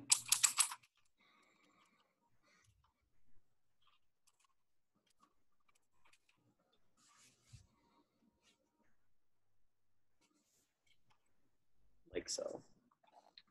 And if everything went okay, you can see here that you've got listeners running. Now, this was where I discovered that it's a bad idea to do upgrade because it breaks the Apache install. Uh, in my case, I did not have uh, listeners running. So hopefully after you've installed, updated and installed, then you run uh, sudo sslnt, uh, then you will see these listeners running on their relevant ports. Now, don't get caught in the uh, don't get caught in the same uh, don't get caught on the same thing here. We're not going to be using this particular IP address. What we're going to do is we're going to hop back into our Windows VM and we're going to open up a browser. I like Firefox for this. Once it opens up, we're going to go up to uh, the address bar here, and we're going to type in http colon backslash backslash, and then we're going to enter in our um, the IP address of our Linux machine. So again, uh, make sure that you're not just copying and pasting this line into the browser bar because you're going to have a bad time. Make sure that you're getting the IP address of your Linux machine. That's what's running the uh, that's what's running the Apache web server that we're going to be accessing from our Windows machine. So in my case, this is the, uh, this is the IP address of my Linux machine. So let's go there. Now you can see that it was successful. So it's cool because this now is the uh, the appropriate landing page. Um, if you did everything right and you enter your IP address in here, you should be able to see that landing page of your Linux server. Now, what you think, you might think like, how would attackers use this in the real world? Um, there, it all it does not cease to amaze me how many people will just click on anything once they open an email uh, or even like search results for um, like some of these some of these uh, some of this these trojans spread through um, malicious websites that are able to uh, populate uh, search index results and people just click on it not knowing where they're going. I mean a lot of this a lot of the time um, you know this is this is a lot better than it used to be like in the in the late 90s and early 2000s but uh it's still um it's still a major problem and i mean i do have some pretty funny stories from people who were like uh ended up with needing to get their computers fixed. And um the best one is the guy that uh in front of his wife was asking why he had all these viruses on his computer. And we're like well sir your hard drive is full of a very specific type of porn and you've got trojans all over your computer and he says oh uh, we don't look at that stuff in our house and we're like well someone was visiting these sites and installed some malicious software. Uh, people will oftentimes uh, click on anything. There's a reason that um, there's a reason that phishing is still so successful and that people still fall victim to phishing campaigns. Um, a lot of the time, they will disguise links to look like something legitimate. And as you can see in this case, it's very easy uh, to get someone to um, click a link and then and then now as, as here they're already connected to my malicious attacker linux machine from their windows machine. So they're actually connected to my web server. Mm-hmm. Search bars. Yes search bars are another good one. Absolutely.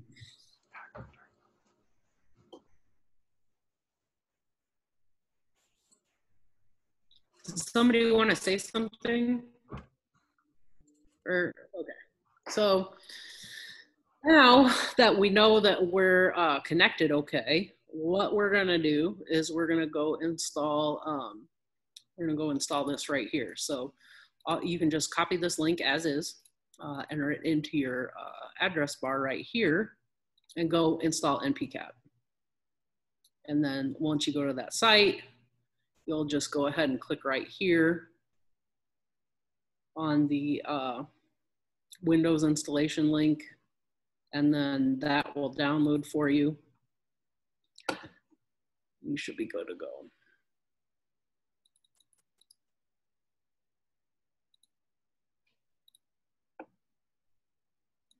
Again, in the previous line, um, we're gonna flip back over. Next thing we're gonna do is flip back over to our Linux machine. Uh, as in the previous uh, section, make sure that you're this isn't all one line even though it, it's kind of deceiving uh, which we'll we'll change that on the just refresh it. I fixed it. Refresh the page. Oh. Okay. Great.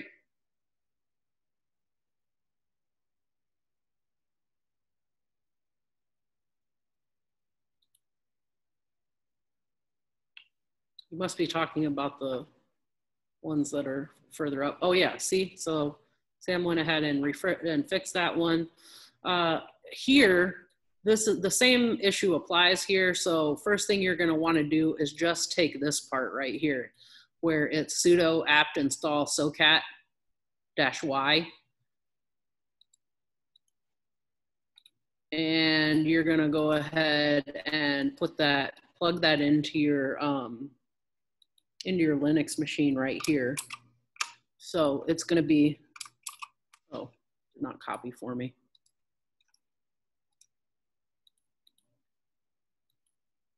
So you're just gonna enter it like so.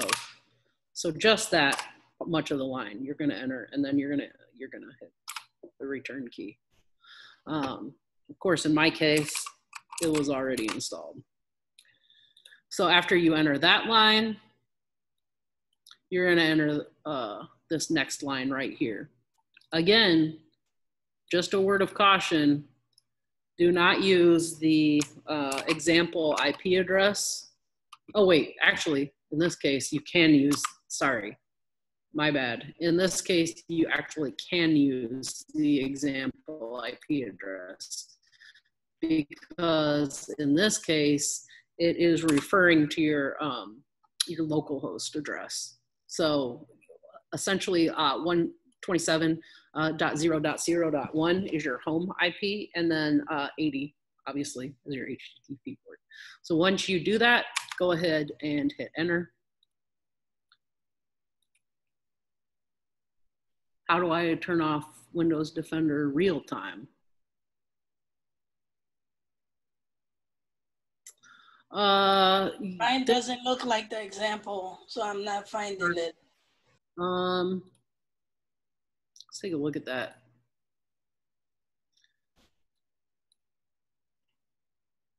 Clear, get rid of this here. Come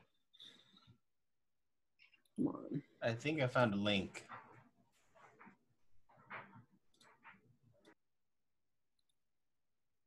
Oh, cool. There you go, Urban. This is like super slow right now.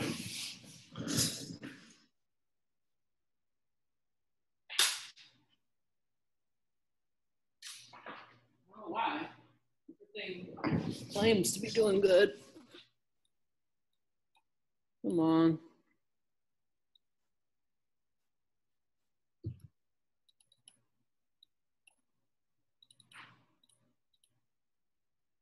Let us know if uh, that's still giving you problems, Jay. Come on. There we go. No, still doesn't want to close for me.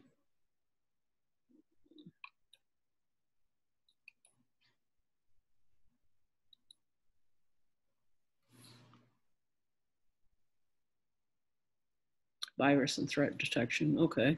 Thanks, Caitlin. Hmm. Come on. Okay, well, we'll just leave that for now, and hopefully it doesn't. Uh, I wonder if it'll let me turn it off with uh, Task Manager. Maybe. Possibly, maybe. Try to embiggen it.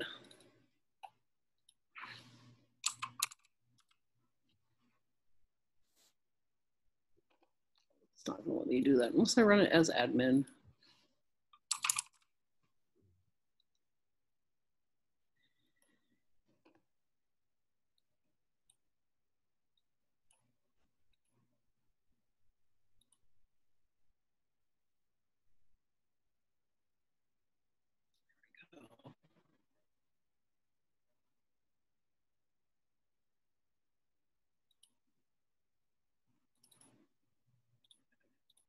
It, good, great. Okay, so back to, back to our instructions here. Let's try this again. Open up our browser. And let's hit the Linux machine.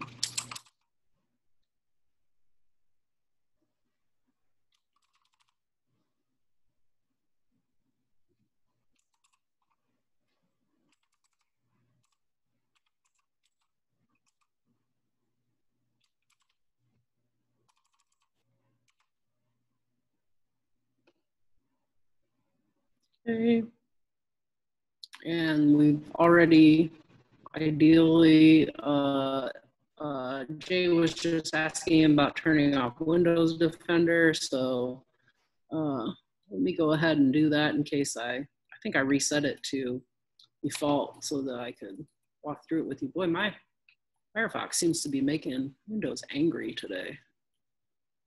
So let's kill that. Wow, I didn't even kill through Task Manager. Let's go back here. And Defender.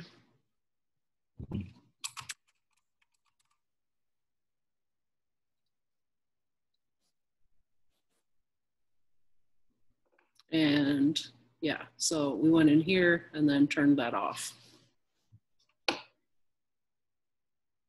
Typically the default will have it set to on here under real-time protection. Okay, so we've got that off. Um, I just turned it all off because why not? Um, so now we're gonna go back over here to our Linux machine and grab the content from this URL. Actually, we don't need to do that because we, uh, I'm sorry, it's getting a little fried late in the day. We already did that, so uh, hopefully you've still, you've already got um, Metasploit installed on your Linux server. So let's just move on to this next. Uh, let's move on to this next line. So go ahead and kill this for now. I can use my terminal again. Go ahead and enter this line in. And again, being sure to change, be sure to change, uh, this is an instance where you've got to change that uh, localhost IP. So make sure you put in the accurate localhost IP for your Linux machine. It's one of those, I swear.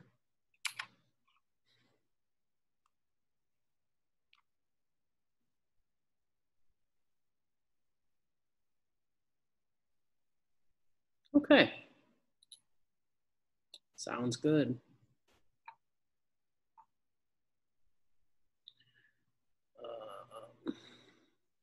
Now, let's start up our Apache server. So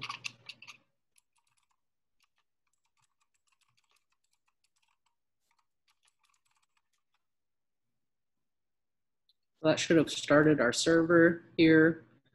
Um, if, if it didn't, uh, you'd see an error right there. Now, let's open our, uh, let's open Metasploit back up.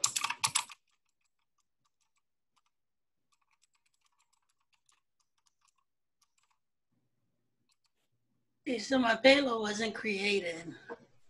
Hmm, no payload created, huh? Yeah, Um, let's let's see. Uh, and you changed. You made sure to change the IP address, and you entered it all as one line, right? yep. It says no, and no platform selected like your has, and then Yep. it says no ARC selected, selecting ARC x86 from payload, then it says error, one or more options failed to validate L host. Or more options failed to validate lhost. Uh, is it possible that you might have had a a typo in there anywhere? Um, can you paste the line in to the chat, please? Okay, this line that you heard.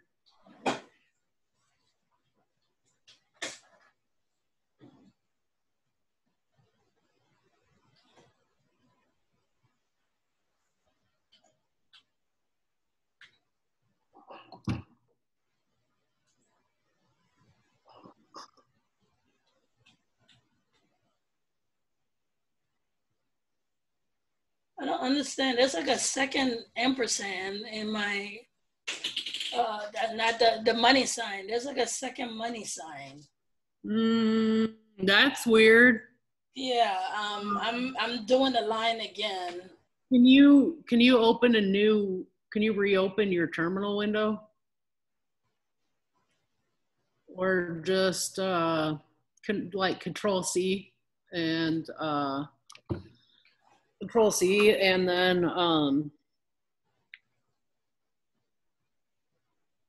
type in clear uh clear your screen and then see if that helps any. Uh, weird. clear my screen and that just clears my screen and. I You still this- signs? Huh? You still have two dollar signs? No, the one dollar sign is gone. Okay, that's good. And then, um, I'm running the code again. Okay. Um,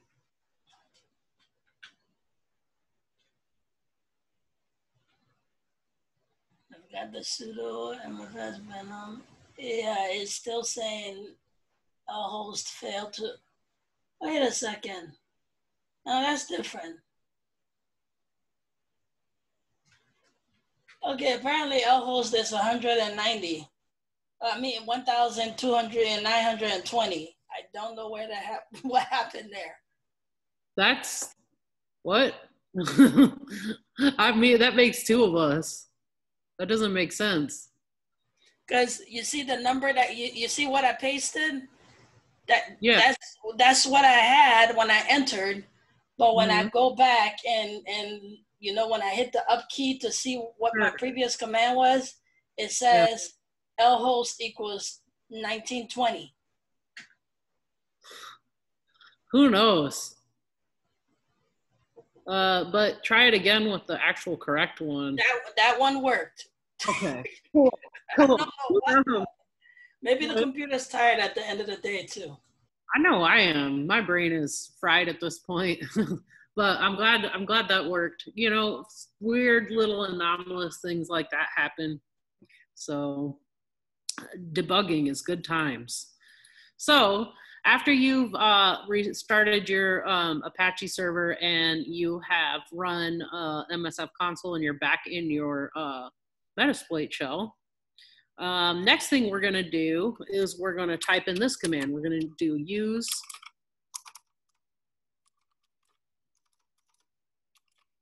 multi slash handler.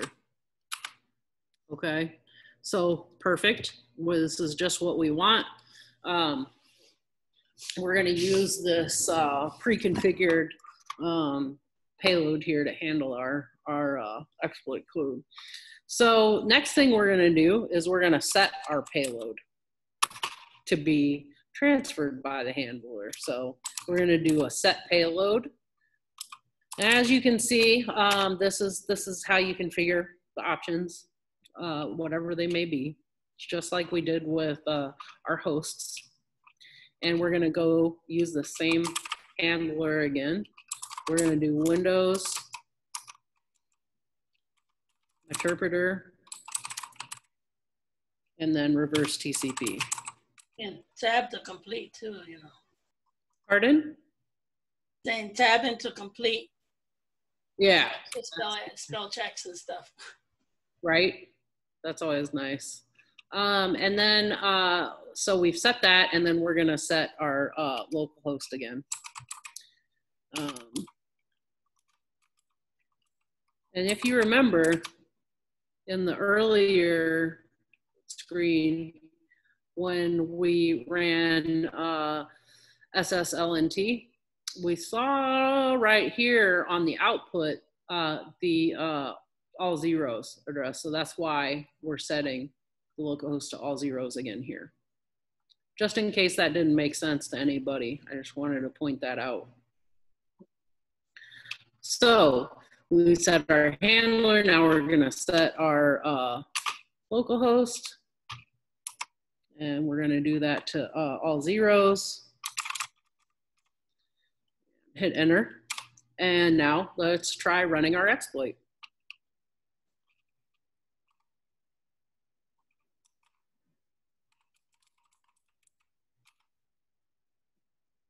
Started our handler. Now, let's run the malware. So we're gonna go back to our Windows machine. We're up here now, and so let's go ahead and pretend that we've just sent our executive uh, malicious uh, link. How can we how can we get our executive to download our malicious link onto his uh, work computer? This is a pretty good way. We've got them, or uh, we've already got them coming to our web server. Let's get them to download this malware. I mean, it says it's fun, so CEOs like fun, right? Interesting.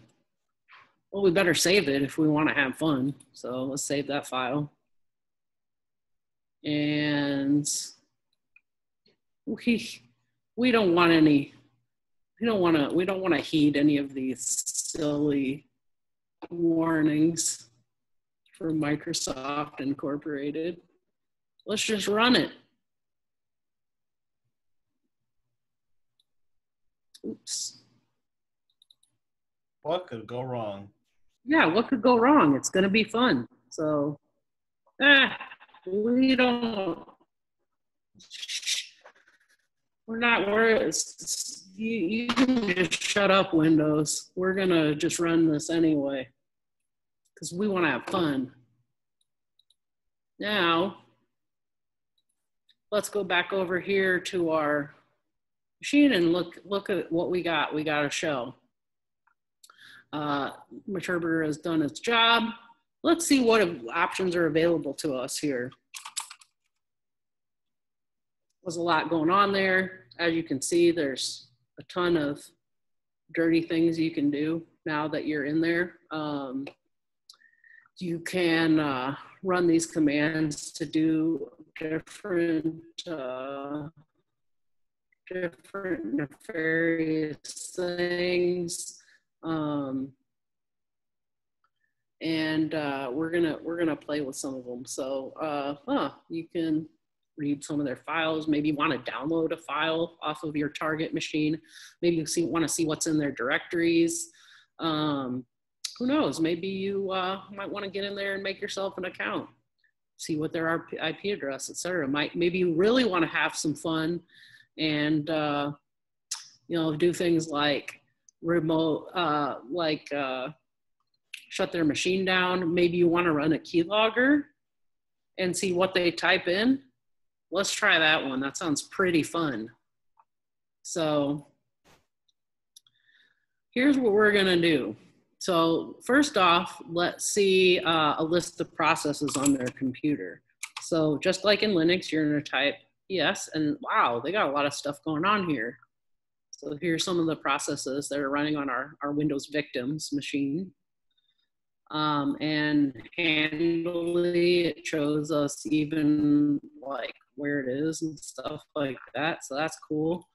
Um, and then um, let's go ahead and get into Explorer. Why not? We're gonna migrate into that process.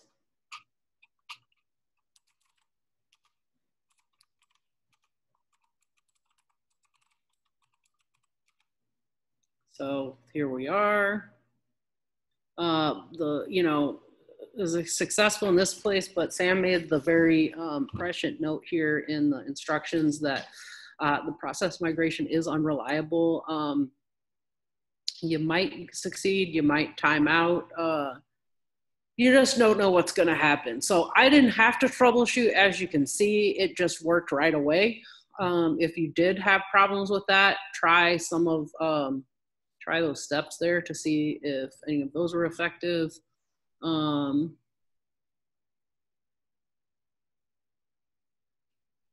okay, good. People are getting help.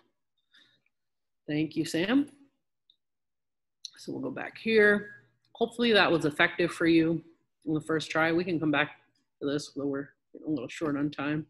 So um, we've done the, uh, we've successfully migrated processes. So let's try, um, let, and if you didn't get that, it's really not that big of a deal. It's fine. Um, so let's try um, let's try our next bit of fun. Okay. So let's try this. We could get a screenshot. Um, I think that we should try doing a keylogger. So let's try that. That's going to be the second option here. But you know, you could also watch somebody over their webcam, get a shell on there, uh, a window shell on there, set up some persistence for yourself. Uh, all kinds of good, dirty, and fun things you can do there.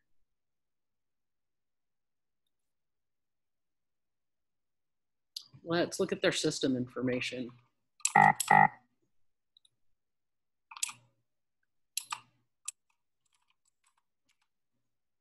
Ooh, okay, cool. Gives us some insight into what they're running. Um, and you happen to get lucky and get a little flag there. So hopefully you've run this and we're able to uh, get that to work successfully.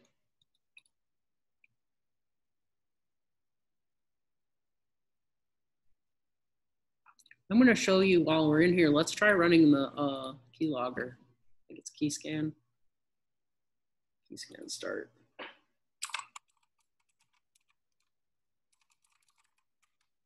We started that, started sniffing for our keystrokes. And then let's uh, just go ahead and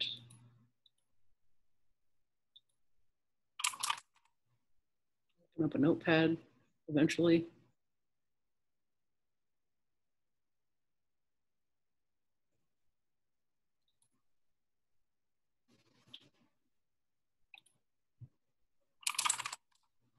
Hmm. Slow.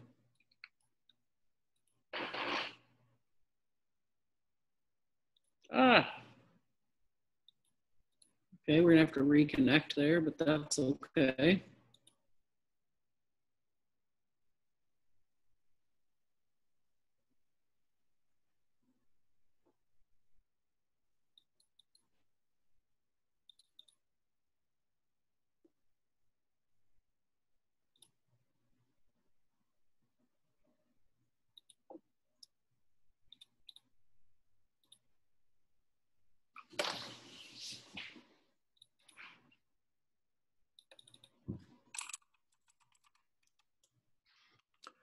Hey, Liz, uh, is it okay if I stop this recording and take over the screen for a minute so I can uh, see what Cherishell is doing?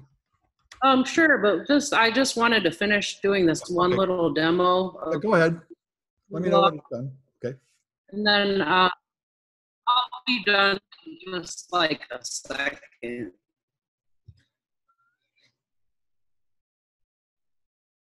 I just wanted to show them how it works. But, uh, it may not be cooperating, so we'll see.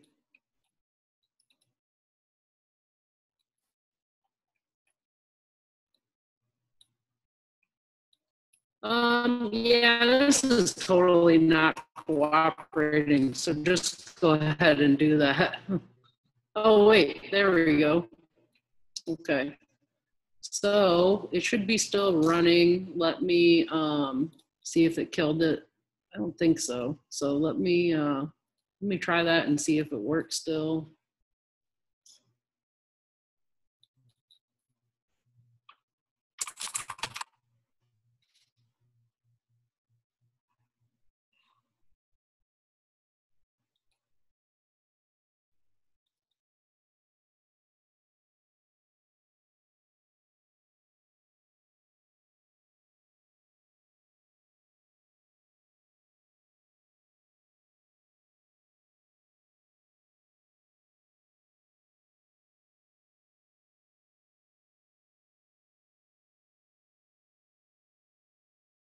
Uh-oh, looks like we lost Liz.